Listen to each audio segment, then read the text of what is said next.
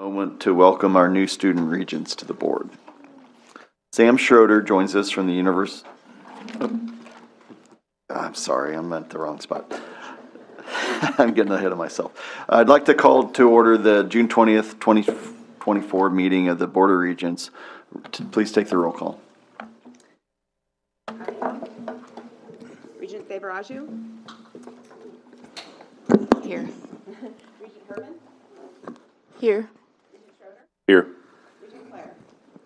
Regent Kenney? Present. Regent O'Connor? Sorry. Regent Schafer? Here. Regent Scheer? Here. Regent Stark? Here. Regent Weitz? Here. Regent Wilmot? Here. A quorum is present.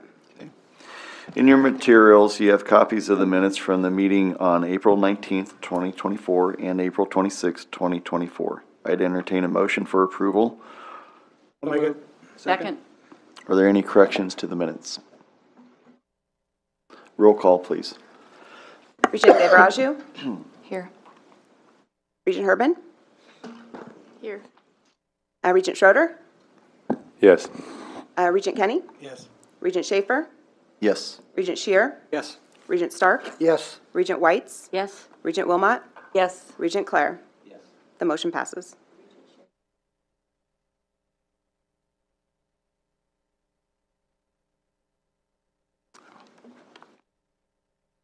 Compliance with the Nebraska Open Meetings Act, the board has posted a copy of the act on the south wall of the boardroom behind the seating area for the press.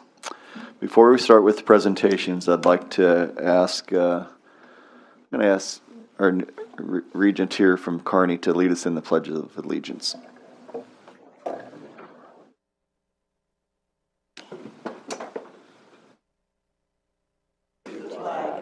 of the United States of America and to the republic for which it stands, one nation under God, visible, with liberty and justice for all.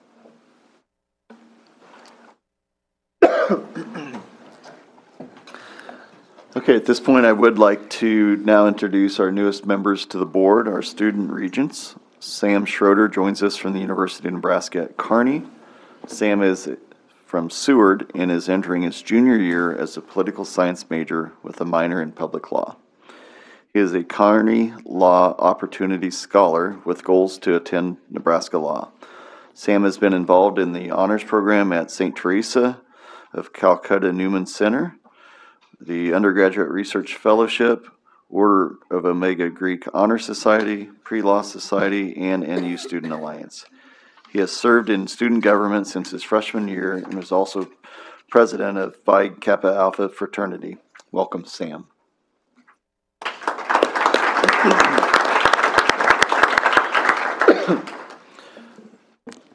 Elizabeth Herburn joins us from the University of Nebraska Lincoln.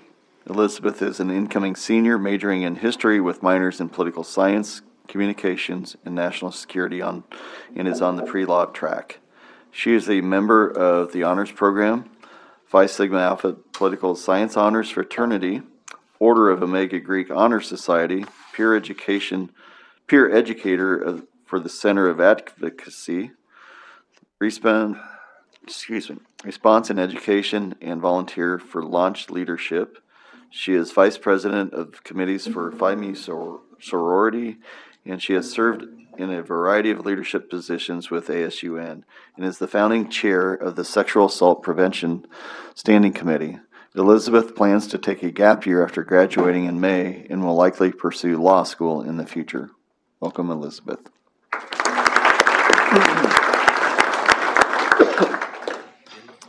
Parente Deva Raju joins us from the University of Nebraska Medical Center. She is a fourth year medical student from Omaha. She's attended UNO, where she studied biology and piano performance. Last year, Parenta was Director of Academic Affairs for the Student Senate, where she spearheaded changes to UNMC's mock interview week. This year, she and her team hope to increase cross campus and cross college student engagement and enhance mental health services for students. After medical school, Parenta hopes to attend a medical residency program to specialize in psychiatry. Thank you.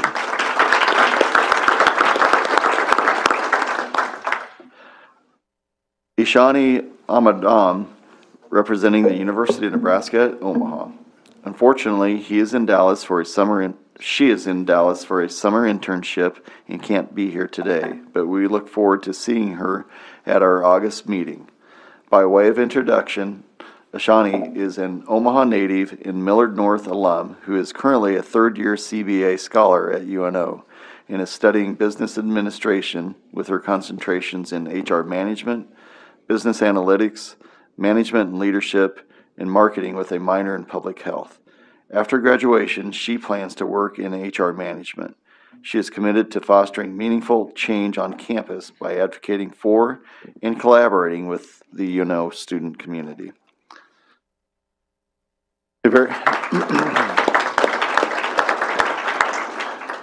With that, I'd like to extend a very warm welcome to all of our student regents. The voice and presence of our student regents on this board is invaluable. We are glad to have you here and look forward to your participation this next year. President Kabourek, as I look across the room, I see some new faces sitting in our faculty senate seats as well. Would you be kind enough to make those introductions? Uh, Good morning, my pleasure. Thank you, Regent Schafer. Um, It's always a pleasure to welcome our new uh, am- amazing faculty to this, to this, uh, to the board meeting. And so we have four new members we want to, want to introduce, introduce this morning. Um, Dr. Daniel Chaffin, Chaffin is an associate professor of management at the University of Nebraska at Kearney. Uh, The the majority, majority of Dr. Chaffin's research focuses on student positive psychology, psychological capital, but he has also written about academic integrity, strategic leadership, and received the Best Paper Award for Research mm. Message. Dr. Chaffin teaches classes in strategic management and entrepreneurship. His approach is to find more ways to help students practice the concepts rather than talk about them. For example, in the entrepreneurship class, student groups create and execute a unique startup during the semester, including developing a product, pitching for financing, clearing legal requirements, creating a website, and selling. Really pleased to have you here. Welcome, Daniel.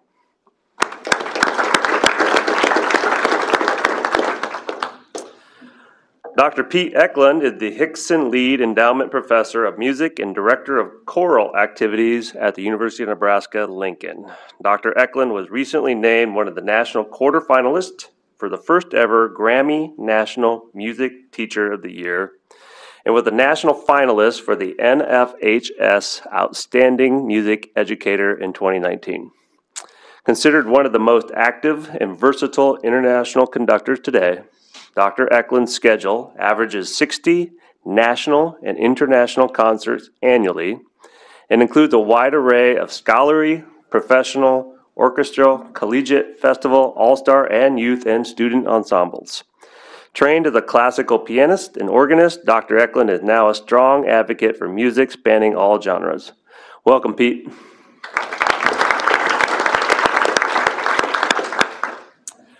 Dr. Joseph Siu is professor for the physical therapy program and director of the Global Health Opportunities Program in the College of Allied Health Professions at the University of Nebraska Medical Center. Dr. Siu oversees the international program in physical therapy and establishes educational programs with partners around the world. He studies human movement and gait biomechanics, as well as motor learning and human performance, with his research supported by the NIH, NASA, Nebraska Space Grant, and other entities. Dr. Siu received the College of Allied Health Professions Excellence in Research Award in 2014 and the UNMC Outstanding Faculty Mentor of Graduate Students in 2022. Welcome aboard. Thanks for being here, Joseph. And finally, it's my pleasure to introduce Dr. Patty Bick, an Associate Professor of Finance, Banking, and Real Estate at the University of Nebraska at Omaha. Dr. Bick received her PhD in Finance from Penn State and was a faculty member at Tulsa for eight years before coming to UNO. Her areas of research include executive compensation and mergers and acquisitions. She currently teaches the undergraduate capstone course for the business and finance concentration, as well as financial management for MBA students. Welcome, Patty. You know, again, I want to welcome all of our faculty senate. Um, they represent an amazing group of faculty across all of our campuses. I'm not sure if most people realize that serving as faculty senate presidents is something you take on in addition to your day jobs and how much time and effort uh, is involved in represent, representing the faculty voice. So we truly appreciate your work, your partnership, and we look forward to working closely together in the years ahead to move our university forward. With that, I'll turn it back over to the chair. At the beginning of each meeting for the Board of Regents, we take time to recognize those persons who all too often don't receive the recognition that they deserve. The Board of Regents believes that it is vitally important that we acknowledge your commitment as well as your contributions to the university. To have been nominated by either a supervisor or a fellow worker is an honor in and of itself.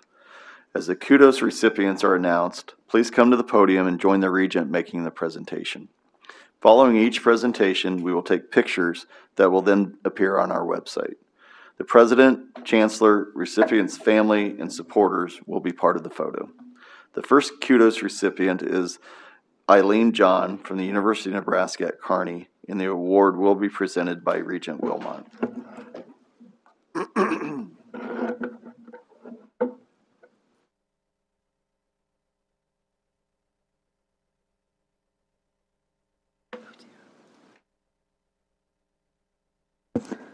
On behalf of the Board of Regents, I'm pleased to present a kudos award to Miss Eileen John. She's the Honors Program Outreach Coordinator at the University of Nebraska at Kearney. Eileen came to UNK as a student in August of 1991 from Davenport, Nebraska. She was an Omaha World Herald and Kearney Hub Scholar and was part of the very first UNK freshman class. Eileen holds a BA in music from UNK, a Master of Music from the Kansas State University, and a K 12 vocational instrumental music teaching certification. She says of her career path, in many ways, it chose me. Opportunities have come my way that have suited my abilities well and that I have enjoyed immensely. For 12 years, she served as an adjunct faculty member in UNK's Department of Music and Performing Arts. She directed the Nebraska Kats Show Choir and taught voice lessons intermittently. In 2021, she began working as the Honors Program Outreach Coordinator.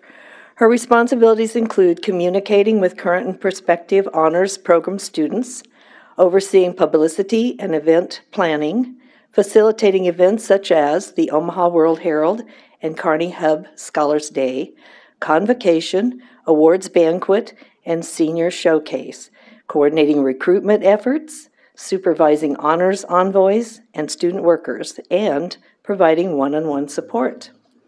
I value the relationships with students, faculty, staff, and administration and alumni, Eileen says. The people are what makes this job and this place precious to me. Honors Program Director Angela Holman praises Eileen. She works every day to support students, and it's an amazing asset to the Honors Program and the university, and both are better with her here. Congratulations goes to Eileen John, one talented, creative, caring person who's making an incredible difference. With Eileen are her husband, Mick, daughter and current UNK student, you raised her right, Emma, son Heath, mother Ruth Olick, and Aunt Jane Weenus. And that concludes it, and thank you very much for being here.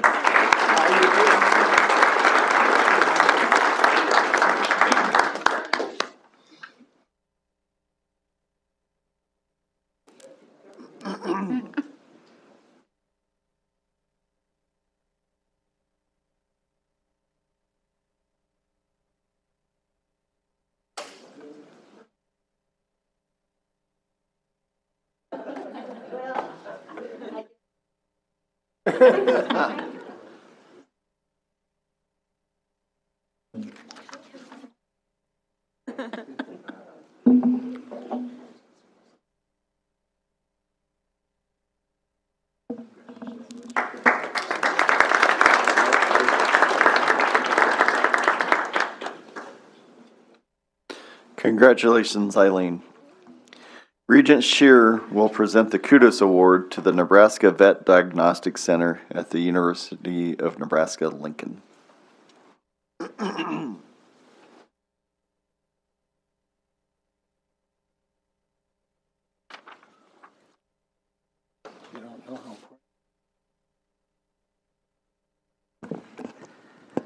Uh, Thank you for the opportunity. You don't know how uh, nice it is to actually have a mic that I can talk into again. I sort of miss that. And you have to listen, so. Uh, On behalf of the Board of Regents, I am pleased to present the Kudos Award to the Nebraska Veterinary Diagnostics Center team at the University of Nebraska in Lincoln. This award celebrates their dedication, innovative approaches, and tireless efforts in safeguarding the health of Nebraska's livestock, pets, wildlife, and the University of Nebraska Lincoln community.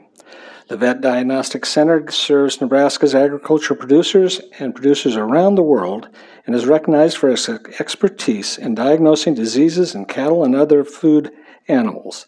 In addition to serving agricultural producers, it also provides testing and diagnostic services for wildlife and companion animals. The center demonstrates exceptional teamwork with its partners, including the Centers for Disease Control, the U.S. Department of Agriculture, the Nebraska Department of Health and Human Services. This is a collaborative effort and underscores the importance of veterinary and diagnostic facilities in protecting both human and animal populations from emerging health threats. For example, the Diagnostic Center has been a key source of information about the recent strain of avian influenza that affects dairy cattle. The team is learning how to mitigate the risk of African swine fever to prevent the virus from entering the United States. The center also plays a crucial role in conducting surveillance and diagnostic testing on samples collected from poultry, livestock, pets, and wildlife. And the ability to rapidly scale up testing capacity as experienced during the pandemic has positioned UNL to play a pivotal role in surveillance and diagnostic efforts, facilitating early detection, containment, and mitigation strategies. Joining me today are representatives from the Nebraska Veterinary Diagnostic Center, Zachary Brown, the night manager, Deborah Royal, the quality control manager, and Scott McVey, professor and director of the School of Veterinary Medicine and Bi- Biomedical Sciences. Please join me in uh, welcoming and thanking the Nebraska Veterinary Diagnostic Center for their dedication to the University of Nebraska.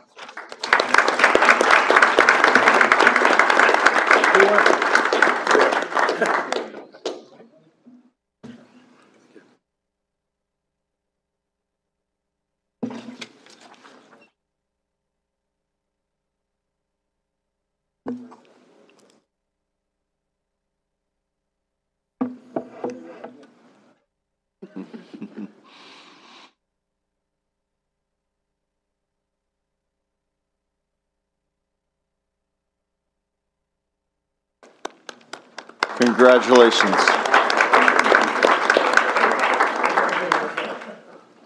Next, Regent Stark will present the Kudos Award to Jacqueline Pavlik from the University of Nebraska Medical Center.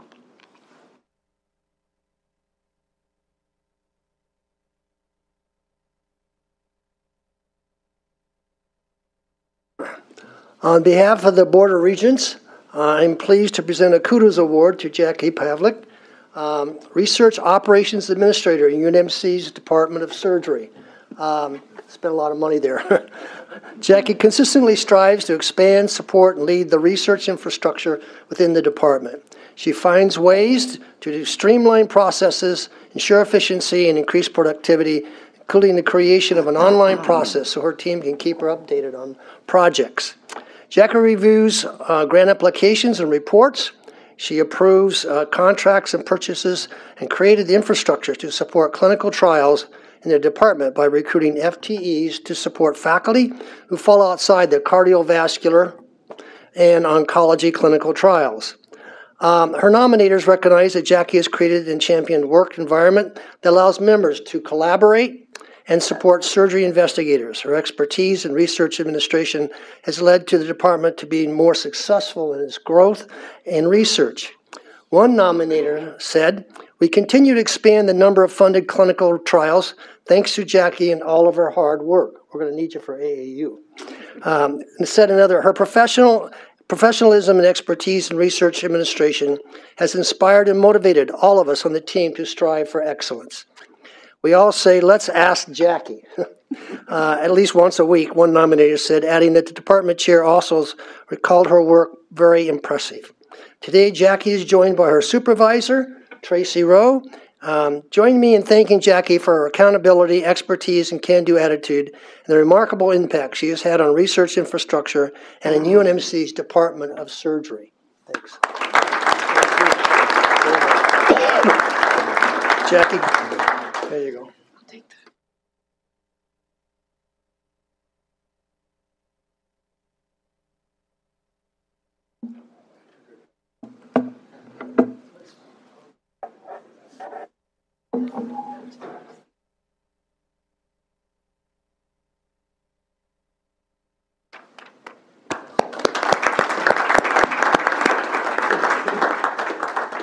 Congratulations, Jackie.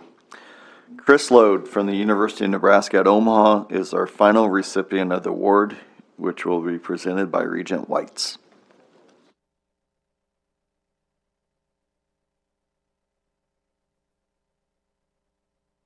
On behalf of the Board of Regents, I'm pleased to present a kudos award to Chris, is it Lodi? Lodi, assistant to Dr. Rich Klein, Vice Chancellor of Institutional Effectiveness and Student Success, and is assistant to Dr. Kathy Pettit, Associate Vice Chancellor and Dean of Students at University of Nebraska at Omaha. Chris has been at UNO since 2002. That's about when I left, actually, with previous roles in the Department of Recruiting Services and later undergraduate admissions. In her current role, Chris supports two of the busiest, most student facing um, areas of the university. Managing the calendars of two vice chancellors, oh, is no small feat. I think it takes a giant computer. And Chris handles this with tact and with grace. Barb Harvey, executive assistant to the chancellor, says that Chris's roles have always had her communicating with students, faculty, staff, and community partners. She treats everyone with the dignity and extends beyond and respect no matter who they are. Her positivity and her desire to help others embodies the maverick spirit, and she extends beyond the borders of our campus. Chris often sees our students, I love this. Chris often sees our students during her commute to work on the city bus. And when they approach her with questions, she's always opening to listening to them and guiding them to the correct resources. Great. you can be a tour bus guide too. Now, today, Chris's guests are Dr. Rich Klein, Vice Chancellor of Institutional Effectiveness and Student Success, and Dr. Kathy Pettit, Associate Vice Chancellor and Dean of Students. Please join me in thanking Chris for her dedication to the University of Nebraska at Omaha.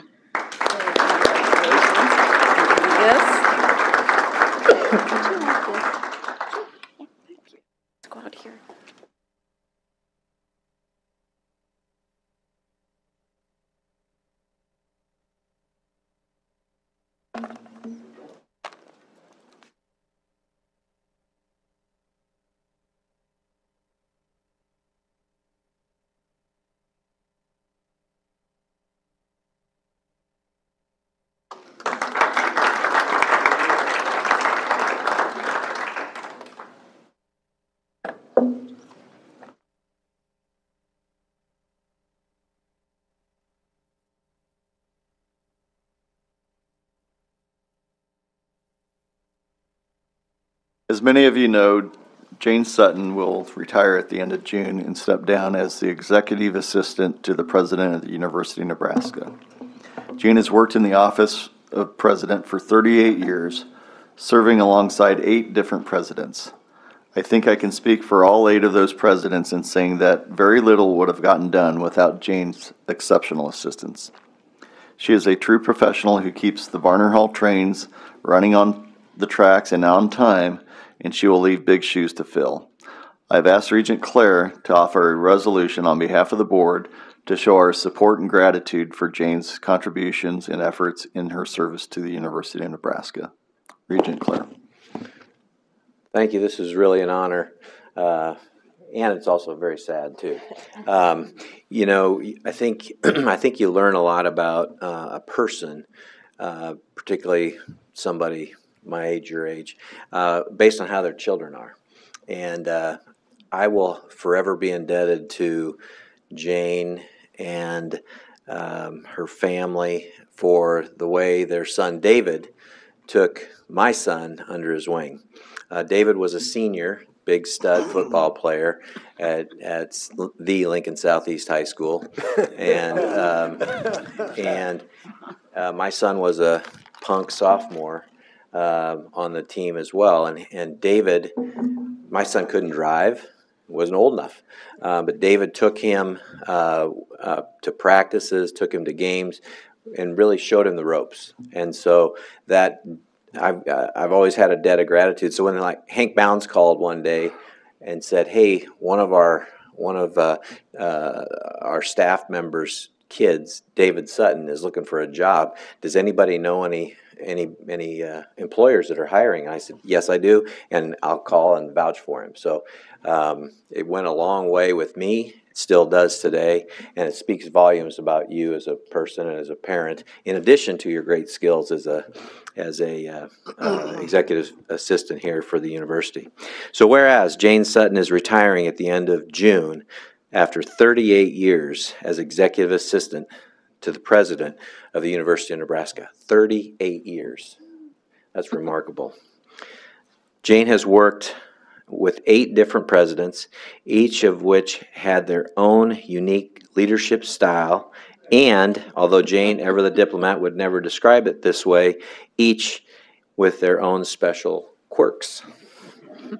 And whereas Jane, a lifelong Nebraskan and lifelong public servant, previously spent four years working in the Nebraska governor's office, and whereas Jane is a model of true professionalism, setting the example for how staff in Varner Hall should conduct themselves in representing the president, and whereas Jane is a master juggler and puzzler, somehow taking infinite requests for meetings and engagements for the president and making it all work in the daily calendar with such efficiency that it would be easy to be fooled into thinking it was easy when in fact, without someone with Jane's attention to detail, speed, and quality, the president would quite literally be lost. And whereas under Jane's leadership, Varner Hall is a place where every guest, no matter who they are, is greeted warmly, offered water or coffee, treated with the highest level of respect, and comes away having a positive experience with the president's team. And whereas Mimi, Jane is in high demand among five grandchildren who have specifically requested that she visit them for a hundred days after she's done working.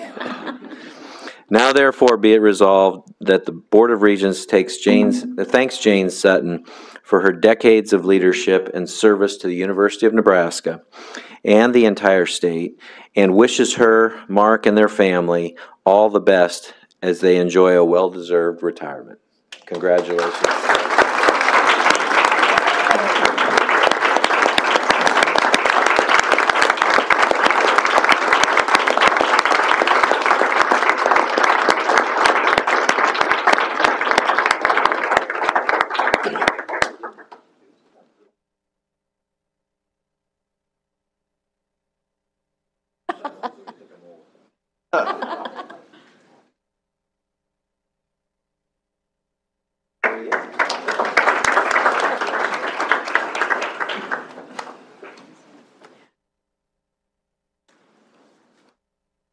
If there's no objection, I suggest that this resolution be adopted by acclamation. Second. Having no objections, it is so adopted. Thank you, Jane, for everything that you've done for the university. While our kudos guests are most welcome to stay and may observe the balance of our meeting, if you wish to leave, we will take no offense, and you may do so at this time. Thank you for coming.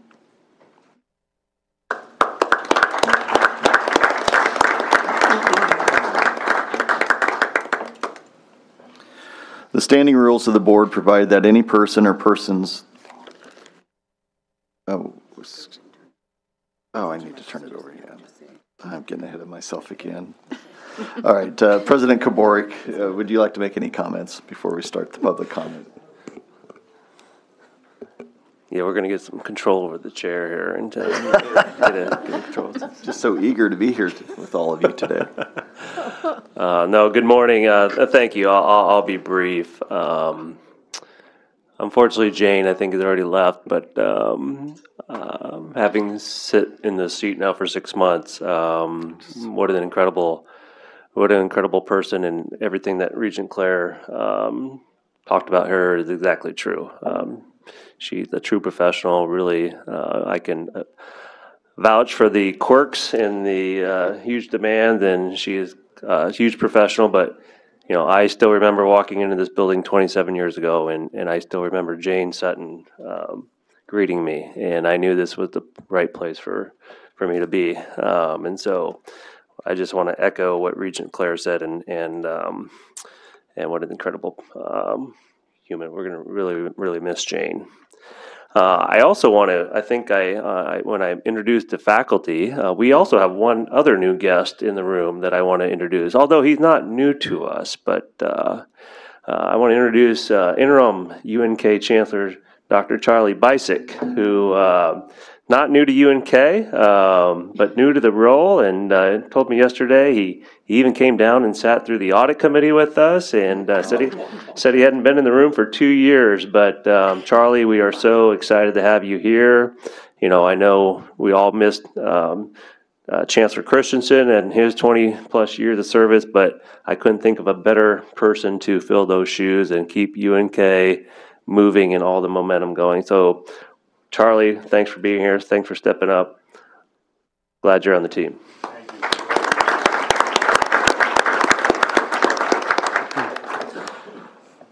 Well, it's, it's hard to believe that we're already um, halfway through 2024, and um, I still remember um, six, seven months ago when when uh, Regent Clare and Regent uh, Schafer stopped by and asked me if I would be having an- any interest in um, serving as the interim president, and um, you know that conversation's in some ways feel like it was just yesterday, and as my wife reminds me, with my uh, accumulating gray hairs, it also seems like years ago.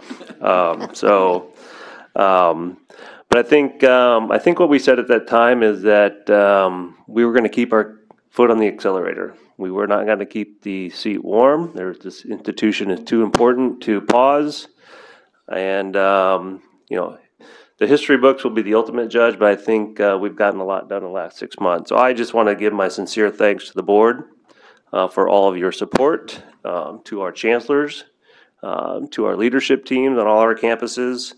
Uh, I know it hasn't been easy. I know I've pushed um, and prodded, but it was all with the goal to make us better. So, um, but I want to just kind of highlight a few things that really, really stand out to me. Um, um, you know, when I accepted this role, I I said that if we could make a difference in the life of, of one Nebraska kid, uh, I would view this as as a positive, as a win, uh, as a success. And if there's one young person out there, you know, someone like me, a first generation kid from rural Nebraska, um, who now thinks college is possible, um, then we'll, we've done our jobs. And I think the reason we've been able to make a difference um, in a short amount of time is because we followed through on a, on a simple mission that I know this board supports, and that's that's uh, simply to reconnect um, reconnect with Nebraskans. Uh, we hear a little, a lot about the public's declining trust in higher education. We've all seen the polls. We've read the news stories. But as someone who deeply believes in the value of higher education and the transformation it can make on one's lives. Um, you know, those kind of news stories are, are troubling to me. But here in Nebraska, we are blessed um, to have a, a citizenry that loves its university, wants it to be successful, and has consistently, consistently invested accordingly. I've seen this time and time again in my 27 years here. As I like to say, the people of Nebraska are our single biggest donor, year after year, for 155 years and counting. And I've always at the forefront of my mind that it's regular Nebraskans, like the people I grew up with in David City, who support the university day in and day out, are really the ones who will keep us running. And so I think it's also fair to acknowledge that sometimes we have gotten a bit too comfortable. We have been satisfied at times to be in our offices, using this or that software program to decide our engagement with Nebraskans. When the truth is that nothing can replace getting in our cars, hitting the highways, and seeing this great state. Going to visit people where they are. And I, and I learned this from, from Governor Pillen. And nothing compares to that face-to-face human interaction and getting eyeball to eyeball and developing those relationships. So from day one, we made it a priority to reconnect with Nebraska. And, and first and foremost, I, I am so incredibly proud to stand up in February with this board um, and Governor Pillen to launch the Presidential Scholars. And most of you already know this is our, our full ride scholarship that also provides a $5,000 annual stipend to any Nebraska student that scored the perfect 36 on their ACT. And, um, you know, the nexus of that was pretty simple. Nebraskans are competitors. I know we all are competitors. I, we talked about that at, at dinner last night. And we simply got tired of seeing too many of our best and brightest being recruited away because we were being outcompeted by the scholarships that other places were, were offering. Uh, you know, we didn't have all the details when we announced the program. We're still figuring it out, quite candidly. Um, but in a few short months, I can just tell you, we have gotten such positive reaction from students, from parents, from guidance counselors, from everyday Nebraskans saying, thank you. Thank you for competing for our kids. Thank you for telling them that you want them in Nebraska. And the proof so far in only four short months is pretty impressive, in my opinion. This fall, we will, at least at this time, we're hoping to get more, enroll 17 presidential scholars on our campuses. That's almost double what we had last year. And I've had the privilege of meeting many of these students and their families personally, and I can tell you these are incredible young people who will be welcome to our campus in a few months. And they're exactly the kind of students we want to stay here and put down roots in Nebraska. And I wish I could share every one of their stories because these kids are, are, are why. They become my why, why, why I'm excited to come to work each and every day. You know, like one young woman from, from Lincoln who wants to be a teacher and was conscious about taking on debt. She was headed out of state to the University of Tulsa until she found about, out about our program. Or the young man in Pender, our first signee that Regent Scheer uh, had the pleasure of joining me on. Um, the oldest of seven kids who, you know, hopefully we are developing a pipeline here, who will this fall study at the Raikes School, you know, without creating a financial burden on his, on his family. Or the young woman in Elkhorn who, who emailed us shortly after the scholarship was announced and said she had scored a 34 on her ACT, but believed if she worked a little bit harder, studied just a little bit more, she could get that 36 and wanted to know if she still qualified for the program. And of course, I we said, absolutely, you know, go, go nail that thing. Well, fast forward to last week, um, she was one of the 28 seniors uh, recognized by Governor Pillen for scoring a perfect 36. So she did exactly what she told us she was going to do. And I'm even more excited to see, say that she'll be enrolled at the UNL campus uh, this fall, studying actuarial science. So as the CFO and me, I'm gonna, I'm gonna keep in close contact with her um, about her future.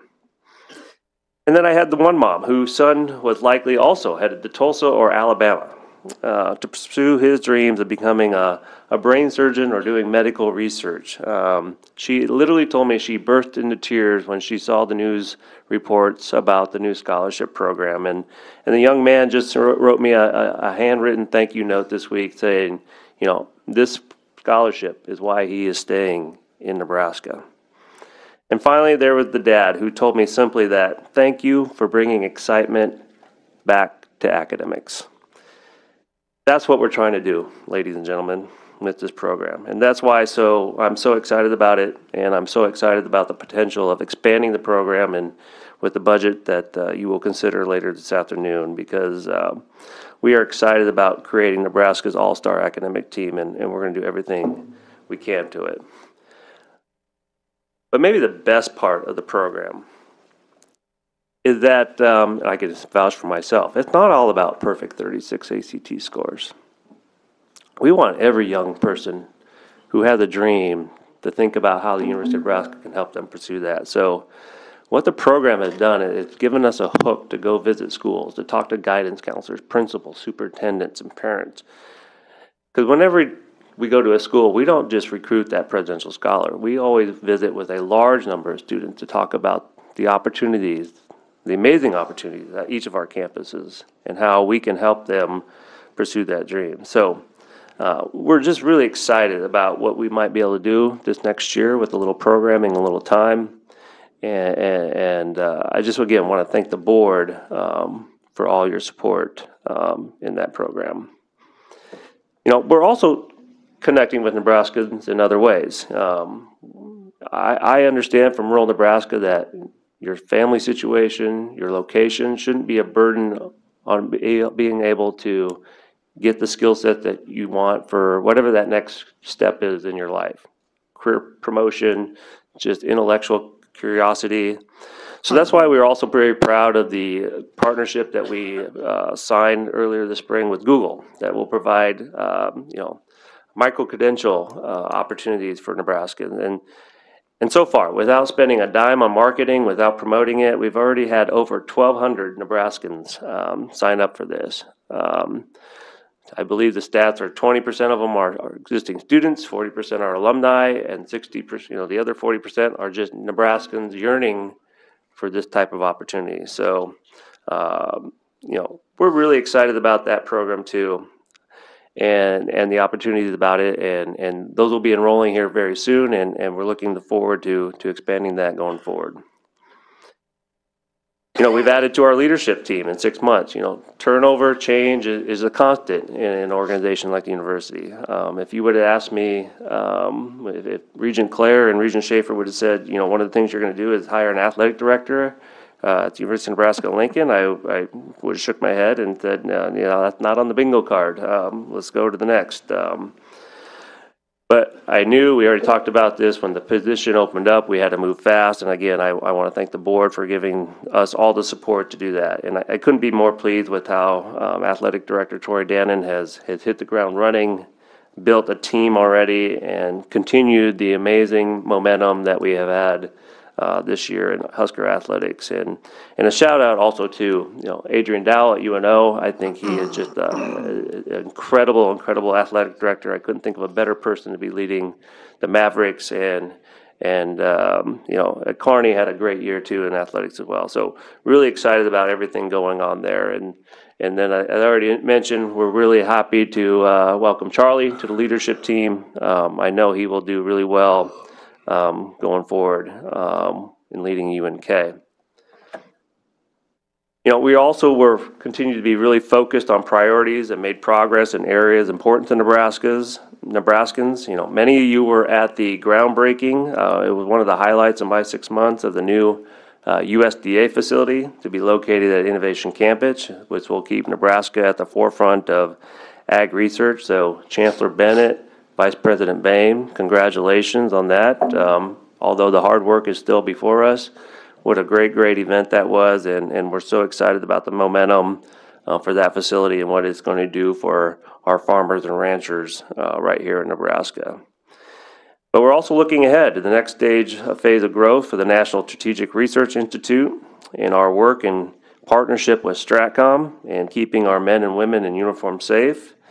Uh, we raised the ceremonial beam for the Kristensen Rural Health Co- Complex. Um, I just was out at Kearney a couple weeks ago and drove by, and that facility is coming out of the ground um, very, very quickly, and and that's going to be a game changer for rural Nebraska in the healthcare um, workforce uh, that we'd provide to our state. We announced the new research model where we will now combine UNL, UNMC, and Office of the President research, which is going to make us an immediate impact in our competitiveness compared to our Big Ten peers and help with our aspirations um, to get back into the AAU. And I continue to believe that's a goal worth fighting for. You know, Nebraskans expect their university to aim high, and I truly believe Nebraska, Nebraska belongs with the best of the best. And so I'm so excited to work with Dr. Gold, this board, on, on the strategy that we're gonna implement to do that. You know, we have all the talent, and we have all the potential in the world to get us there. It's gonna take a lot of hard work and a willingness to challenge the status quo. But as a lifelong Nebraska, I know Nebraskans don't shy away from a challenge, and we're gonna be up to it, and we're gonna go compete, and we're gonna get it done. And I'm excited to see, you know, I'm excited to welcome Chancellor Gold into the chair on July one, and excited to see what he and uh, we can all do moving forward um, to make this university the best it can be and, and continue to accomplish all that we want to be. So, uh, again, my, my heartfelt sincerity, thank you for all your support. It's been a great six months. Um, to serve as the interim president of my alma mater has been an incredible honor and, uh, and the privilege of a lifetime. So, thanks again, Chairman Schafer. The floor is back to you.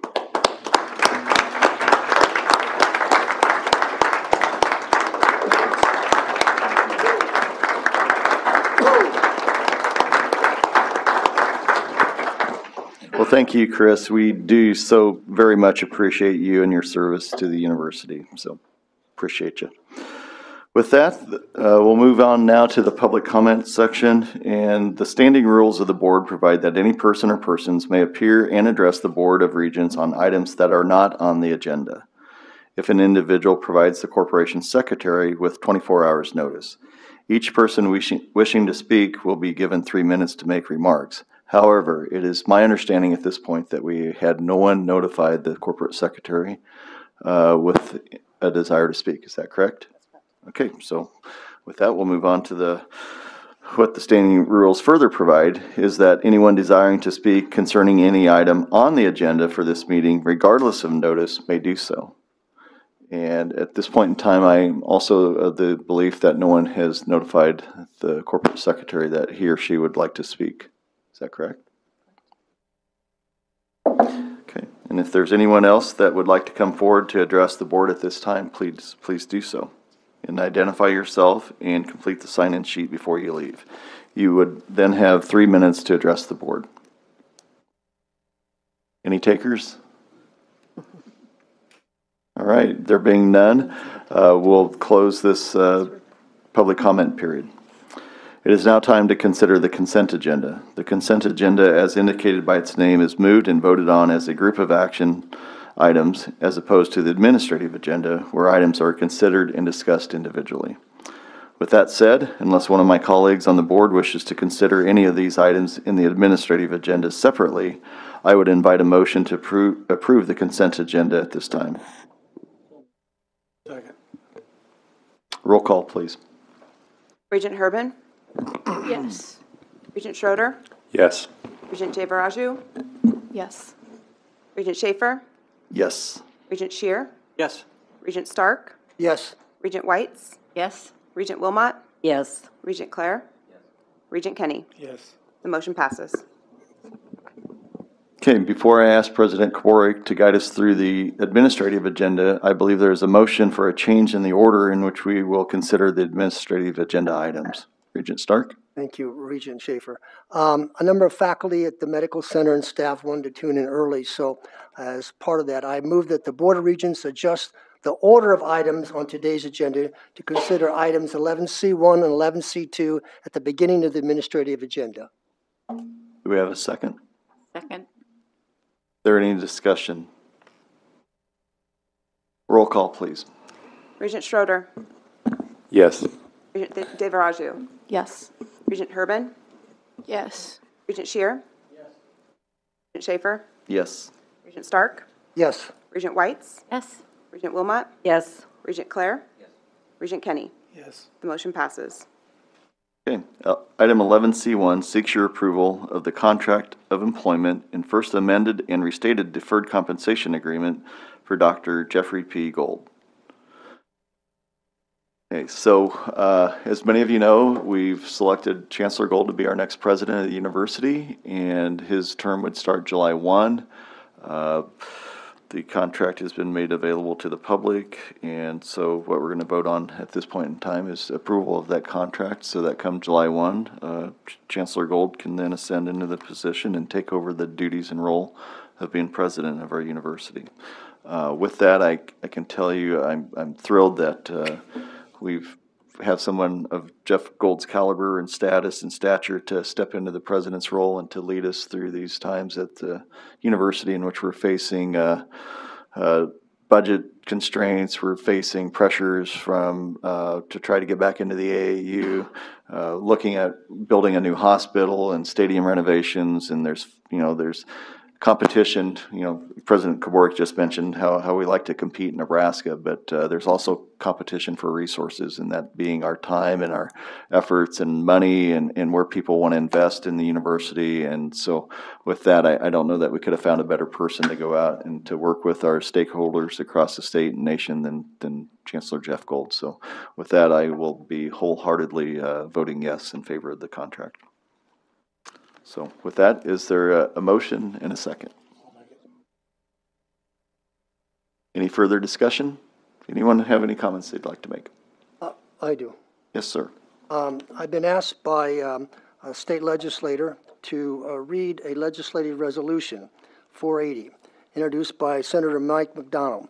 Whereas Dr. Jeffrey Gold has served as chancellor of the University of Nebraska Medical Center for the past 10 years, whereas Dr. Gold has also served as chancellor of the University of Nebraska at Omaha for four years, whereas Dr. Gold has been the author of more than 200 peer-reviewed articles and more than 40 books and chapters.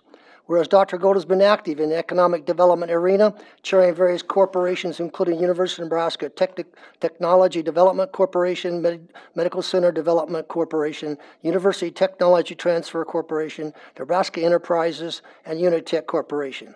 Whereas Dr. Gold's tenure the University of Nebraska Medical Center has been highly ranked in a number of areas, including research, primary care, physician assistant programs, among others. Whereas Dr. Gold has worked with Chancellor Kristensen and President Carter to implement collaborative rural health program, has worked with agricultural leaders across the state. Now, therefore, it be resolved by members of the 108th Legislature of Nebraska, second session, that the legislature congratulates Dr. Jeffrey Gold on outstanding public service to the University of Nebraska system, and that a copy of this resolution be sent to Dr. Gold. Thank you. All right, thank you. Anybody else? With that, please call the roll. Regent Devaraju, Yes. Urban, Yes. Regent Schroeder. Yes. Regent Scheer, Yes. Regent Stark, Yes. Regent Weitz, Yes. Regent Wilmot, Yes. Regent Clare. Yes. Regent Kenney. Yes. Regent Schafer. Yes. The motion passes. All right, thank you.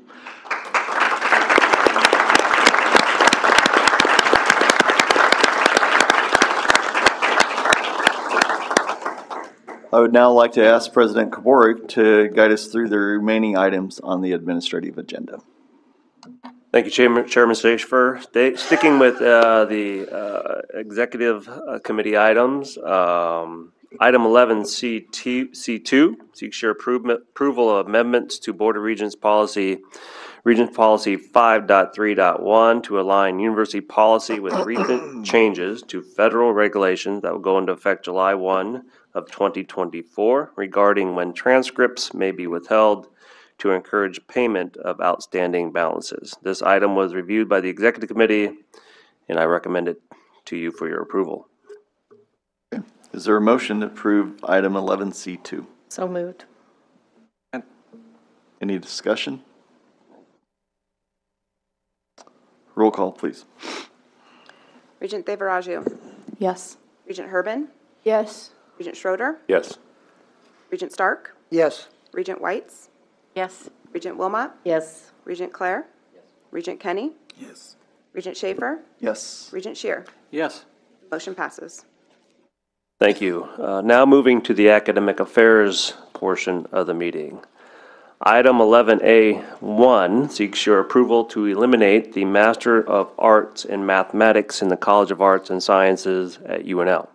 Now, first, I want to, I want to be clear that this elimination is for the Master of Arts program only. There still exists a Master of Science in Mathematics at UNL, which has the same degree requirements. The Master of Science is the more popular of the two degree path, and there are currently, as there are currently no students in the Master of Arts program. So as we've talked about being more efficient and smarter, I think this continues, and I appreciate the good work of the Provost Office, the Chief Academic Officers on this. And so this item was reviewed by the Academic Affairs Committee, and I recommend it to you for your approval. Is there a motion to approve item eleven A one? So move. Any discussion? Ple- Uh, Regent Scheer.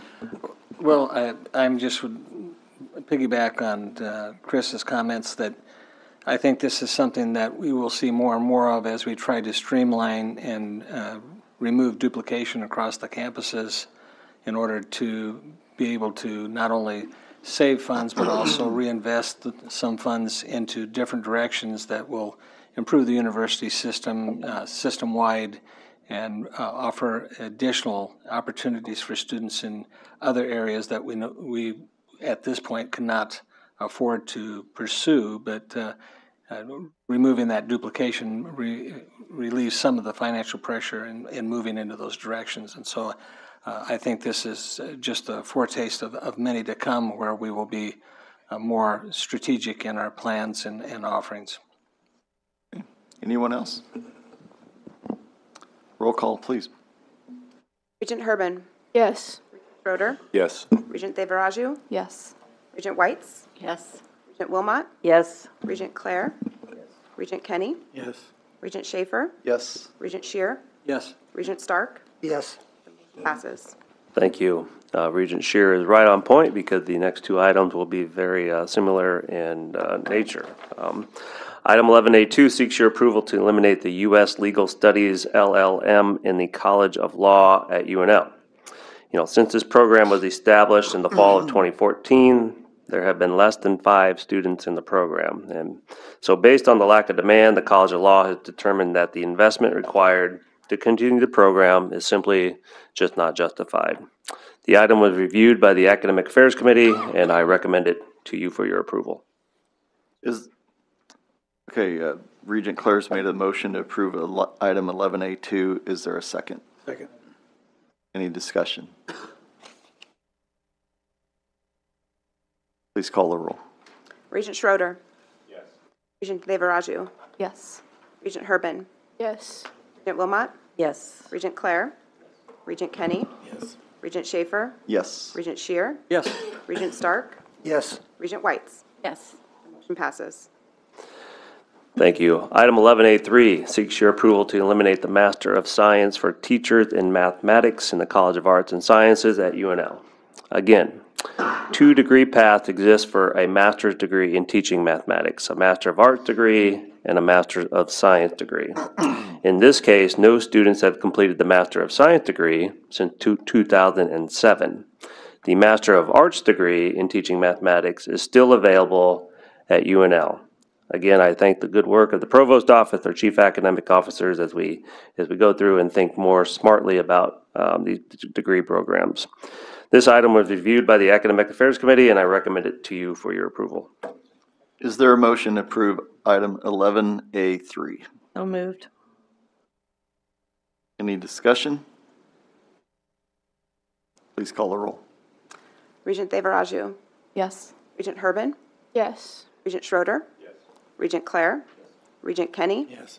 Regent Schafer, Yes. Regent Scheer, Regent Stark, Yes. Regent Weitz, Yes. Regent Wilmot. Yes. The motion passes. Thank you. Item 11A4 seeks your approval to establish a new undergraduate major in business analytics, granted as a Bachelor of Science in Business Administration, administered by the Department of Supply Chain Management and Analytics in the College of Business at UNL. The major in business analytics will train students to transform data into information and insights to help organizations make better decisions and achieve their strategic goals. This proposed major requires no new faculty or resources.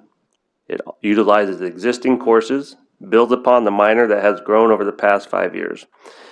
This item was reviewed by the Academic Affairs Committee, and I recommend it to you for your approval.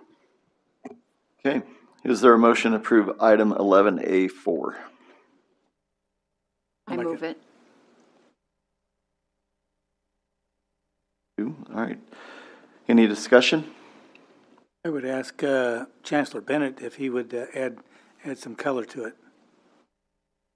Uh, abs- Absolutely. First, I want to thank and congratulate the work of our Executive Vice Chancellor Kathy Ankerson, been leading the efforts not only in the addition of this program, but the elimination or modification of the programs that were previously approved by the board. I think it's a good example of the university working to be in alignment with both the letter and spirit of what the board is asking us to do in terms of being good stewards of our resources. I would further add that many of our students are looking for these innovative, creative uh, degree opportunities, and this particular item certainly aligns us with what the needs of our students are and what the needs of employers in the business community, not only in the state of Nebraska, but around the region, are asking us to do. So we, we feel really good about where we are. We feel like our students will be successful in the program, and we anxiously await the approval of the board of this item. Thank you, Chancellor. Regent Scheer? Well, I just, I think it's important to note that this is sort of an item that, when we discussed earlier of a new process, a new uh, package to make available to our students, you know, just like, you know, you, you keep hearing that the, the jobs that uh, the person that's a ninth grader or a freshman in high school maybe even haven't been uh, developed yet by the time they graduate from college. Well, colleges have to change as well. And there is a lot of need for the, the basics, but we have to also continue to modify ourselves to make us uh, really relevant in the educational process of students for the future.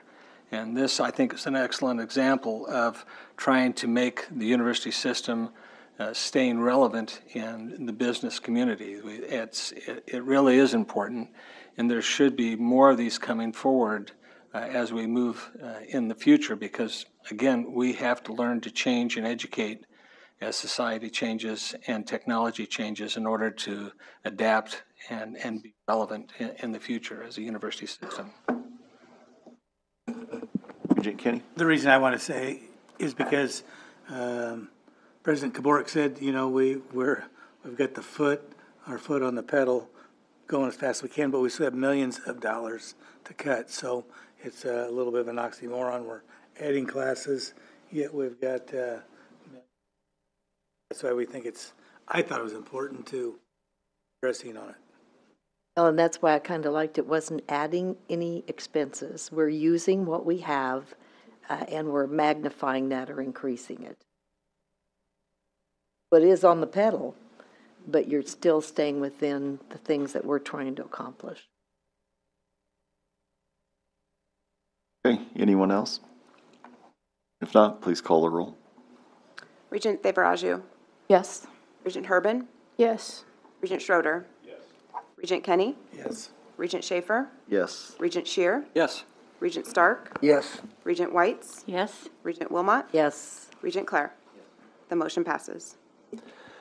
Thank you, and I echo those good barks, and, and we can talk more about that when we get to the budget item, about being very, very strategic and smart about uh, utilization of our resources going forward. Uh, Moving on to item 1185, it seeks your approval to transition the graduate certificate in applied behavior analysis administered by the Department of Psychology in the College of Arts and Sciences at UNO. In response to changes made by the Applied Behavior and Analysis Board to require a master's degree for certification and licensing, UNO proposes to transition the current certificate program and focus on revising the current Master of Science in Applied Behavior Analysis to meet the new requirements. Students can continue to obtain certification as a registered behavior technician, and students currently enrolled in the certificate program will be able to complete the program. When students are no longer enrolled, the certificate program will be eliminated. The item was reviewed by the Academic Affairs Committee, and I recommend it to you for your approval. Is there a motion to approve item eleven A five? So move. second. Any discussion? Please call the roll. Regent Herbin, Yes. Regent Schroeder. Yes. Regent Devaraju, Yes. Regent Schafer, Yes. Regent Scheer, Yes. Regent Stark, Yes. Regent Weitz, Yes. Regent Wilmot, Yes. Regent Clare, Yes, Regent Kenney. Yes. The motion passes. Thank you. And the last item for academic affairs, item 11A6, seeks your approval to establish a new Bachelor of Science in Pharmaceutical Sciences in the College of Pharmacy at University of Nebraska Medical Center. This program is intended for undergraduate students interested in a Doctor of Pharmacy degree, other health professional degrees, pharmaceutical sciences, and other graduate programs, or in entry-level careers in the medical field such as medical sales representatives or pharmaceutical research technicians. Students participating in the program will complete degree prerequisites requisites at any two or four-year institution before being admitted to UNMC to complete the program. At the end of their first year at UNMC, students are eligible to apply for early entry into the pharmacy doctoral program at UNMC. This program assists in the development of a pipeline program to help fulfill Nebraska's healthcare workforce needs. The item was reviewed by the Academic Affairs Committee, and I recommend it to you for your approval. Is there a motion to approve item 11A6? Second. Any discussion? I was just very happy to see that this will also be offered on the Kearney campus, and hopefully that will keep some of those people right. Okay, Chancellor? Yeah, thank you. Well, two points. One, uh, I just want to recognize and thank Dean Keith Olsen and uh, Senior Vice Chancellor Dr. Dele Davies for the work in putting this together. There is a tremendous workforce demand signal uh, in retail pharmacy, uh, across the health professions, and in big pharma for individuals with a bachelor's degree uh, in this area. And uh, the, the work that has been done to create this program, I'm sure, uh, will meet many of the workforce needs in, in rural and in uh, urban Nebraska. And, and thank you for saying that, Region Wilmot. The opportunity to offer this both in Kearney and uh, in, on the Omaha campus is really exciting because there's a tremendous amount of uh, workforce demand uh, in, in rural Nebraska. And, uh, and this hopefully will continue to meet those needs. Uh, you know, we can spend a long time lamenting the shortages of healthcare professionals, but this is a very proactive step uh, in attempt to deal with it. And uh, as this is the last agenda item uh, under academic affairs, I might comment that the provost office, and particularly recognizing uh, Dr. Jackson and others, uh, has worked really hard in transitioning these programs through the academic array process uh, outlined uh, several years ago. You've seen items of elimination, items of transition, items of combination of programs in almost every Board of Regents meeting uh, over the last several years. And as was mentioned, uh, this trend is going to continue as we continue to analyze uh, what our students need uh, and how to best provide it to them uh, in the highest value proposition, uh, and at the same time to make sure that we stay laser focused on access and affordability. So I'm deeply grateful for all of the work that the Provost's office team have done, and I thank you for that. And I do uh, sincerely recommend that we approve the creation of the BSPS program. Thank you. Anyone else? Um, I'd also like to commend uh, this change because it starts to show our ability to collaborate with our community college partners um, in ways that help our students um, get the things they need as effectively and efficiently and cost effectively as possible. And I think this creates a pathway for a number of students that might otherwise not seek a bachelor's degree. Next. Um, I think that students will really appreciate this degree. Um, any sort of early admission option is very popular with students because it takes out the uncertainty of, um, you know, the application process. It, it eases their worries a little bit. Um, also lets them, you know, get their degree in less years and uh, less tuition. Um, so, and, and also this degree would be a precursor degree for um, people going into the health professions. And, you know, as from personal experience as a pre-med student, uh, choice of undergraduate major is really important because, you know, God forbid you don't get into the program of your choice, you'd like to have a degree that um, is really versatile and, and you can use outside of just that path. So. Excellent. Anyone else? Not, please call the roll. Regent Schroeder. Yes. Regent Devaraju. Yes. Regent Urban. Schafer. Yes. Regent Scheer. Yes. Regent Stark. Yes. Regent Weitz. Yes. Regent Wilmot. Yes. Regent Clare. Yes. Regent Kenney. Yes. The motion passes. Thank you. Moving on to the business and finance portion of your agenda. Um, Mr. Chairman, with your support, I would ask that items 11B1 through 11B4, approval of the 2024-2025 Fund B University Program and Facilities Fees for UNK, UNL, UNL, UNMC, and UNO be considered together.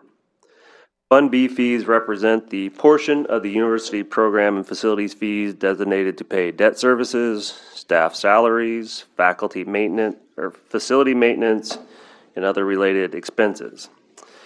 These fees are vetted each year by student government and help support important student programs such as student health, mental, mental health services, campus recreation, student unions, and transportation services such as shuttles. As always, we are mindful about bringing forward any cost increases for our students. But I know our student leadership goes through a careful process to determine the appropriate fees for maintaining quality student services on our campuses. These relatively modest increases will help ensure that we continue to provide the services that our students expect and deserve. The proposed fees were reviewed by the Business and Finance Committee, and I recommend them for your approval. Unless there's an objection, we will vote on items 11B1 through 11B4 together. Is there a motion to approve items 11B1 through 11B4? All right, thank you. Is there any discussion? Uh, I'd just like to comment, um, specific for the UPFF uh, Fund B for UNK, when you break it down, um, the itemized proposal shows a flat rate in all areas except for uh, our wellness center. And I'd just like to note that the wellness center at UNK is one of our largest student employers on campus, uh, that more students at UNK are involved through the wellness center than are in student organizations, actually.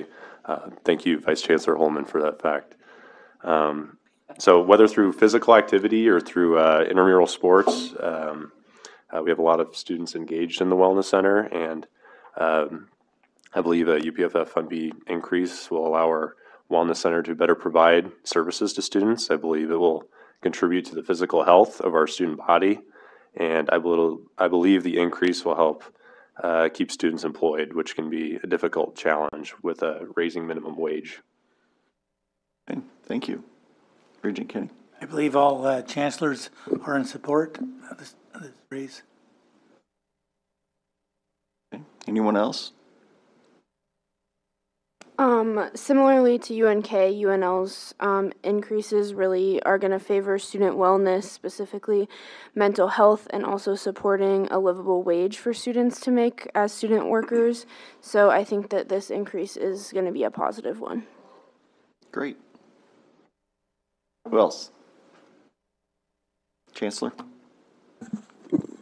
Thank you, Chair. I want to support the uh, student regions, what they said. Uh, The request from UNO really actually helped to fund some student worker that serve, you know, in the front desk.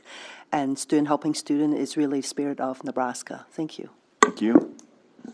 Anyone else? Not, please call the roll. Regent Devaraju. Yes. Regent Herbin. Yes. Regent Schroeder. Yes. Regent Scheer. Yes. Regent Stark. Yes. Regent Weitz. Yes. Regent Wilmot.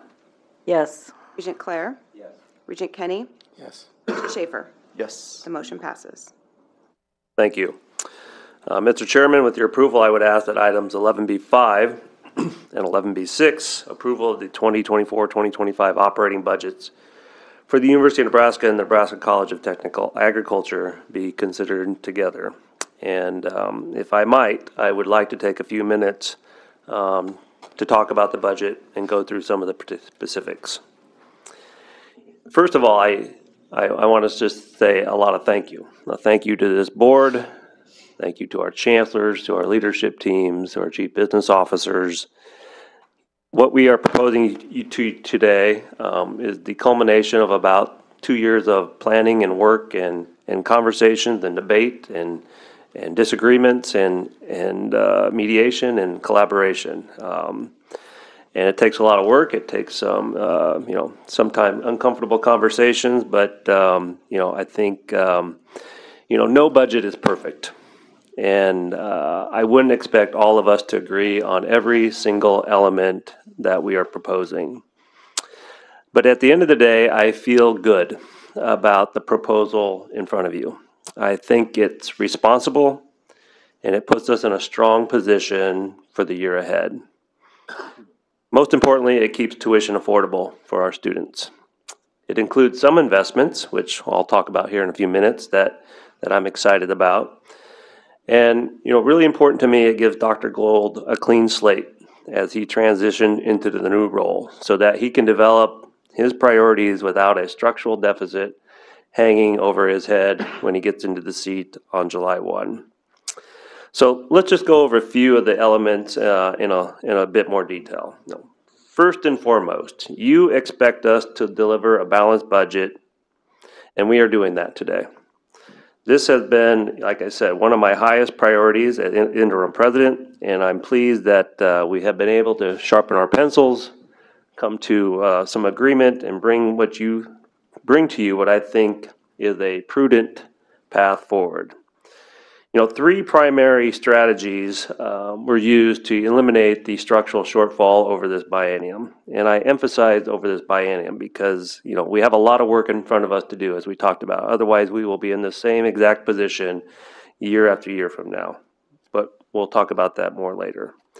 You know, to address, um, you know, the issue, at the end of the day, um, you know, revenues are muted, and we've been talking about that for quite some time and expenses are rising higher than than they have historically. And that had left us with about uh, a forecast where expenses are going to be roughly $17 million more than the projected revenues that we anticipate get, get from the state legislature and, and the tuition we intend to bring in from our students. Now, we intend to manage that 17 million in, in two primary ways. First, um, it will take a lot of work, and I, I thank my chancellor colleagues for this, but we intend to make $11 million in permanent spending cuts over the next year, which will be shared across all the campuses, including the office of the president. Now, cuts are never easy. They always look reasonable on paper until you have to sit across the table, which I've had to do many times, and look a really important employee in the, in the face and tell them they no longer have a job because we just cannot afford it. But I think at the end of the day, while it will be challenging, I think we all agree that this is an manageable amount, and the chancellors are willing to roll up their sleeves, work through their shared governance processes, and find the right solutions in terms of our spending for next year. We will also address $6 million of that by not allocating funds for inflation for our, for our departments. So, in other words, just like every Nebraskan, just like as you go to the gas pump and, and the price of gasoline goes up, or you go to the grocery store and, and the price of your groceries are getting higher, you know, we are not going to, you don't run to your employer typically and ask for a raise to cover that. You, you make priorities and your spending decisions, and that's what we're going to ask, just like every Nebraska family, for our, our campuses and our deans and our colleges to do. Now, I understand that's still still a cut. It's still going to be difficult, but I know we are up to the challenge to do that, and it's really going to make uh, allow us to keep um, tuition uh, that much more affordable. Which brings me to finally a tuition increases, and and we are proposing a tuition increase. It equates to an inflationary contribution for our students for the value of their education. And and I want to say a couple words about tuition. You know, most of you have heard my story, my personal background. I'm a first generation student. Um, uh, I got through school on Pell Grant and, and, and loans, so uh, I understand what it's like to sit around the dinner table, look at colleges, you see the price of colleges, and consider whether that's an investment that your family can take. I know that's the conversation that many of our Nebraska families are having today, and so I take, and I know our chancellors, and I know the board, we take any tuition increase proposal very, very seriously um, when we consider this. and that's been reinforced to me as I've gone through, as I visited a number of high schools over the last six months. Uh, as I told you, I, I, I visit with a number of students, not just not just presidential scholars, and you know, one of the first questions I asked them are, "What are your concerns? What are your questions about when you think about going to college?" And and no matter where whether I'm in a in a rural school, in an urban school, in a public school, or a private school, the number one question I always get is, "Can I afford to go to college?" So I know this question is front and center on our students, on our families, um, considering not only going to university, but college in general. So we don't bring any tuition increase to you lightly. Uh, we have thought about this very, very carefully. But the fact is, we have big goals for academic excellence for this institution, and I'm not going to repeat those because those have been, we've talked about those quite extensively over the last um, year or so. And I think it's fair for all of us, the university, the state, and our students to to chip in to help us get where we want to go. And I think our students recognize quality does come with a cost, and their contributions help support our great faculty and the educational experience they get. I think at the end of the day, I hope that they see that the return on the investment of the value of their degree from the University of Nebraska is second to none compared to anybody acro- across the country. And so, from a dollars and cents standpoint, we are proposing a f- inflationary tuition increase. It it essentially amounts to if you pay the full sticker price um, and you take a 15 credit hour load, it amounts to about $135 a semester at the UNL campus, $120 a semester at, at for a student at UNO, and about $105 um, for a UNK student. Now, I know that's that's real money. Um, but there's a couple things that give me some, some, some relief. Number one, I know most of our, a majority of our students receive some type of financial aid. So hopefully, mo- most of these students will not be paying those full sticker prices.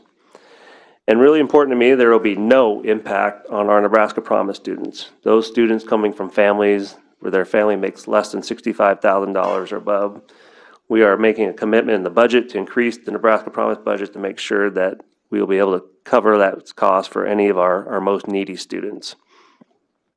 And so I think that partnership between the university finding more efficiencies, between the state, I want to thank the governor and the legislature for their support, and the students for their contribution are going to continue to put us on a pathway forward that's going to put us in a very, very strong position. It's actually going to allow us to provide, what's most exciting to me, is to pivot our conversation from spending reduction and cuts to investments. And I look at my good friend Regent Clare because I know he's really excited about investments, and as I am as well, because we are there's so many good things going on at this institution, and, and we are going to start investing in them. And first and foremost, um, I'm excited about the proposal to put one and a half million dollars in the budget to grow the Presidential Scholars Program. You know, when I go to schools and tell students about this program to them, you know, the first thing they ask is, you know, I didn't get a 36, I got a 34 or a 32. So how quickly can you expand the program? And so our goal is to make sure all of our young people have an opportunity for to shine. And so by expanding the program next year with this one and a half million dollars, we're going to continue to incentivize those perfect 36s. If you get a 36, you're going to automatically qualify. But we do want to have a application process for the next tier of students, those 32, 33, 34s, who are just amazing, amazing young people, but maybe missed a couple science questions on the ACT.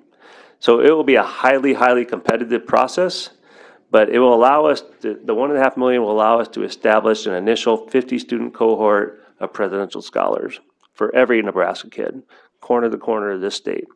And we're really looking forward to going out this fall with your support of promoting this program um, statewide, um, across every corner of our state. So we're really excited about that potential pro- proposal in the budget. We're really excited about, and again, I want to just thank the legislature and Governor Pillen. They are providing $15 million of annual recurring support to get the Kristensen Rural Health Complex staffed and operating. So as I said, I, I drove by that building coming out of the ground. But a building is a building. What really makes a program are the faculty, the students, and the staff in that building. And that's what this $15 million investment will do. I know Dr. Gold, uh, Dr. Bicak, and the UNMC and UNK teams are, are already heavily recruiting, you know, the next round of great faculty and staff that are going to support rural health force across Nebraska. So I can't say how much we are appreciative um, of the legislature, Gov- uh, Governor Pillen, and really going back to um, um, Appropriation Chair John Stinner, who really spearheaded all this, for their support. That is a significant, significant uh, investment in this year's budget. And finally, it was really important for us to, you know, we have big goals around the AAU, around making UNO the best metropolitan university in the country, and about making sure Kearney is reconnecting with rural Nebraska and maintaining a world-class medical center. And I know Dr. Gold has big ideas on that. Big ideas require resources, so uh, I'm glad we were able to put some funding, one and a half million dollars, into the budget so that on day one, Dr. Gold can start talking about, thinking about what those priorities, priorities might be, and that he has a little bit of funding to start making, taking action. So we're excited about the investments in the budget. I would end by saying that all of these discussions we've had with all of you, the board, over the past couple of years about the headwinds facing higher education are still before us. So while I feel really good about the budget uh, we're putting before you today, it's going to put us in a strong position going forward. You know, we still need to continue to have dialogue and conversation and debate about the future. Higher education is changing quickly as we just already kind of talked about with some of the program changes we're doing. But it's really important that we stay on offense.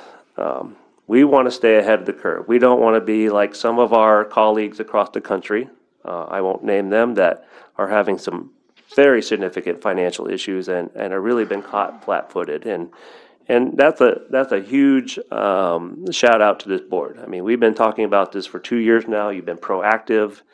Um, and, and that's really, really good. And, and I'm really pleased about our planning and, and where we're, where we're headed. But that means, also means we, we have to be willing to challenge the status quo. And we're going to have to have conversations that make us uncomfortable.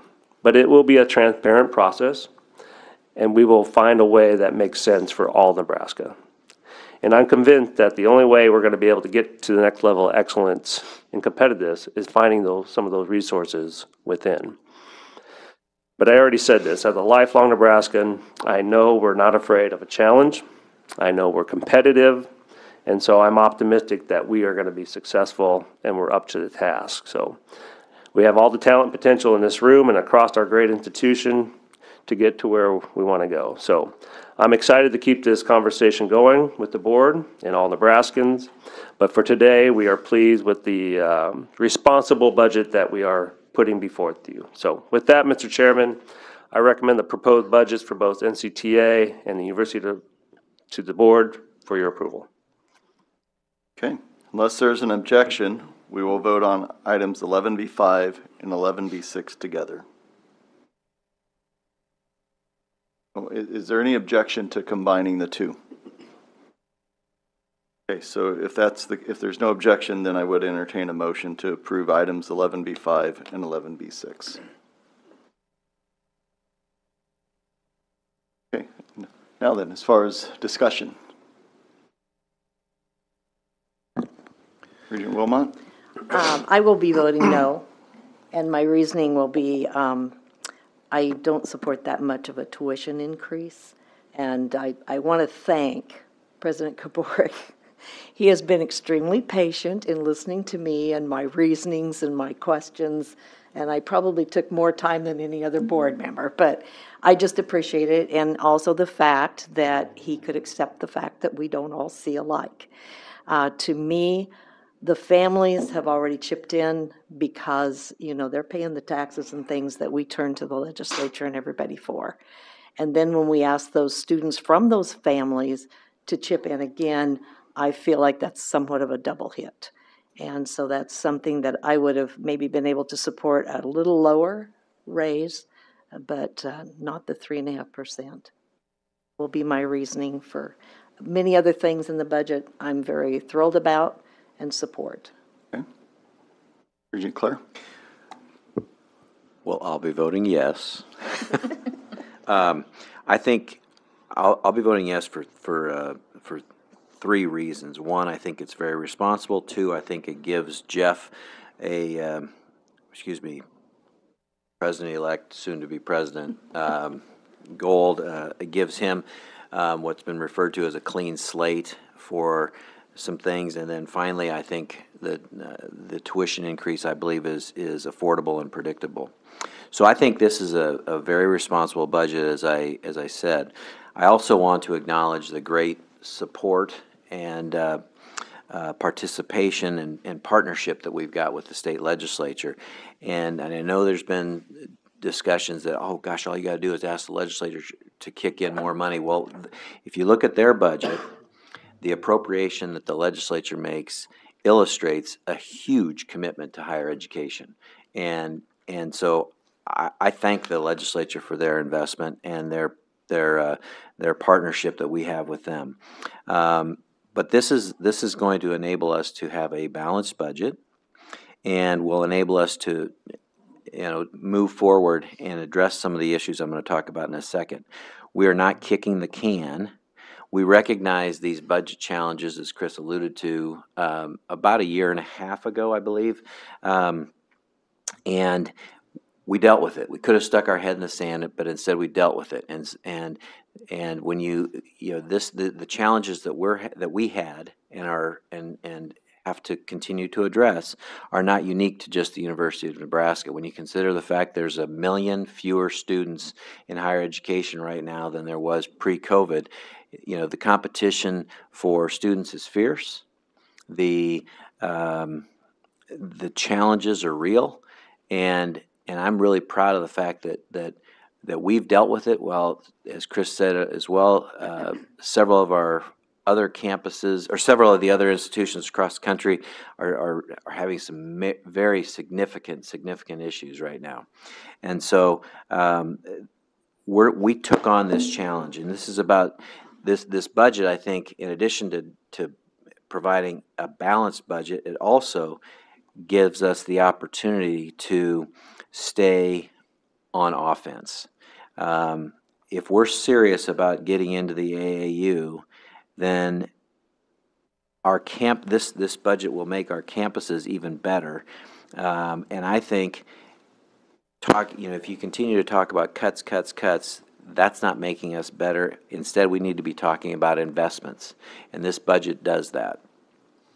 So you talk about some of the investments that we're making, the presidential scholars, and, and again, what Chris did this year with the presidential scholars is, is amazing. And um, going out and establishing um, relationships with counselors across the state, and I believe several of those counselors contacted you about students that might be interested in going to the university. And he showed a little love, and what happens? Those kids are coming here. And so making an additional investment with this budget into uh, not only the presidential scholarship, but also other scholarship opportunities for those kids that that have maybe a 33 or a 34 who are outstanding students. Uh, but, but like, like was mentioned, perhaps missed a question on science or missed a question in math. That doesn't mean that they don't deserve consideration for a higher scholarship. So I'm going to challenge our, our campuses to take a, a, a page out of the Coach Rhule and his staff and some of, several of our other coaches down uh, that, that get out and meet with these counselors. Get out and meet with these with these uh, um, principals and the guidance folks within the campuses uh, around high schools all across the state of Nebraska, as well as as, as well as other other uh, states, and meet with these kids and attract these kids and tell these kids that we want them here. We can provide a great education, but we have to get out and talk to them.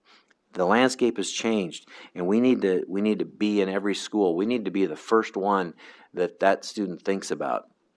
We need to be the school that that the kids, you know, the kids are saying, "Gosh, I wish I could get into the University of Nebraska." Um, that's what I want. That's the aspirational goal that I've got for this for this campus. And so I think this this this uh, um, this budget enables us, and it's long overdue. Honestly, um, uh, we have to take action now, and and I think this this program does it, and and or this this budget does it. And we will we will attract more five star students to come to the University of Nebraska. I also think the other investment that I think is important in this is is again we can we can we can continue to be we can continue status quo or we can invest in programs that are going to elevate the University of Nebraska and the and I mean the entire system elevate us and and uh, enhance our our offerings and, and put us in a position for readmission back into the AAU. Um, that is the, in my opinion, that's the next level of excellence, and we need to be pushing forward with that. And we're going to have to make some tough decisions, as, as has been discussed. But if we have our eyes wide open about this, we can we can gain readmission.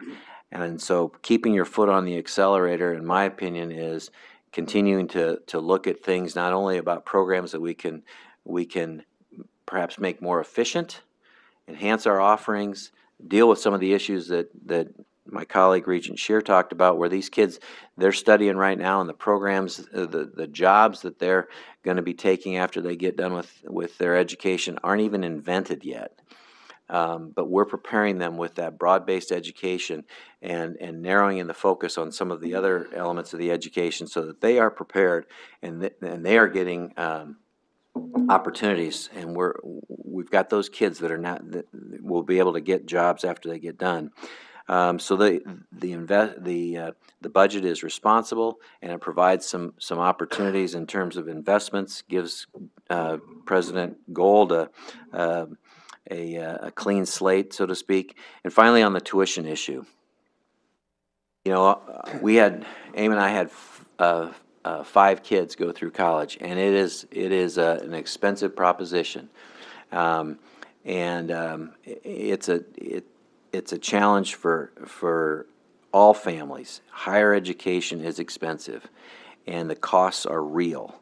Uh, we don't take uh, tuition increases on this board lightly. All of us recognize that it is a, it is an expensive proposition. Um, but at the same time, excellence does have a price tag. And, and this proposal, in my opinion, strikes that right balance. Inflationary increases is fair, an, an inflationary increase is fair and predictable, and it's going, it's going to enhance an otherwise outstanding education that the students are getting right now.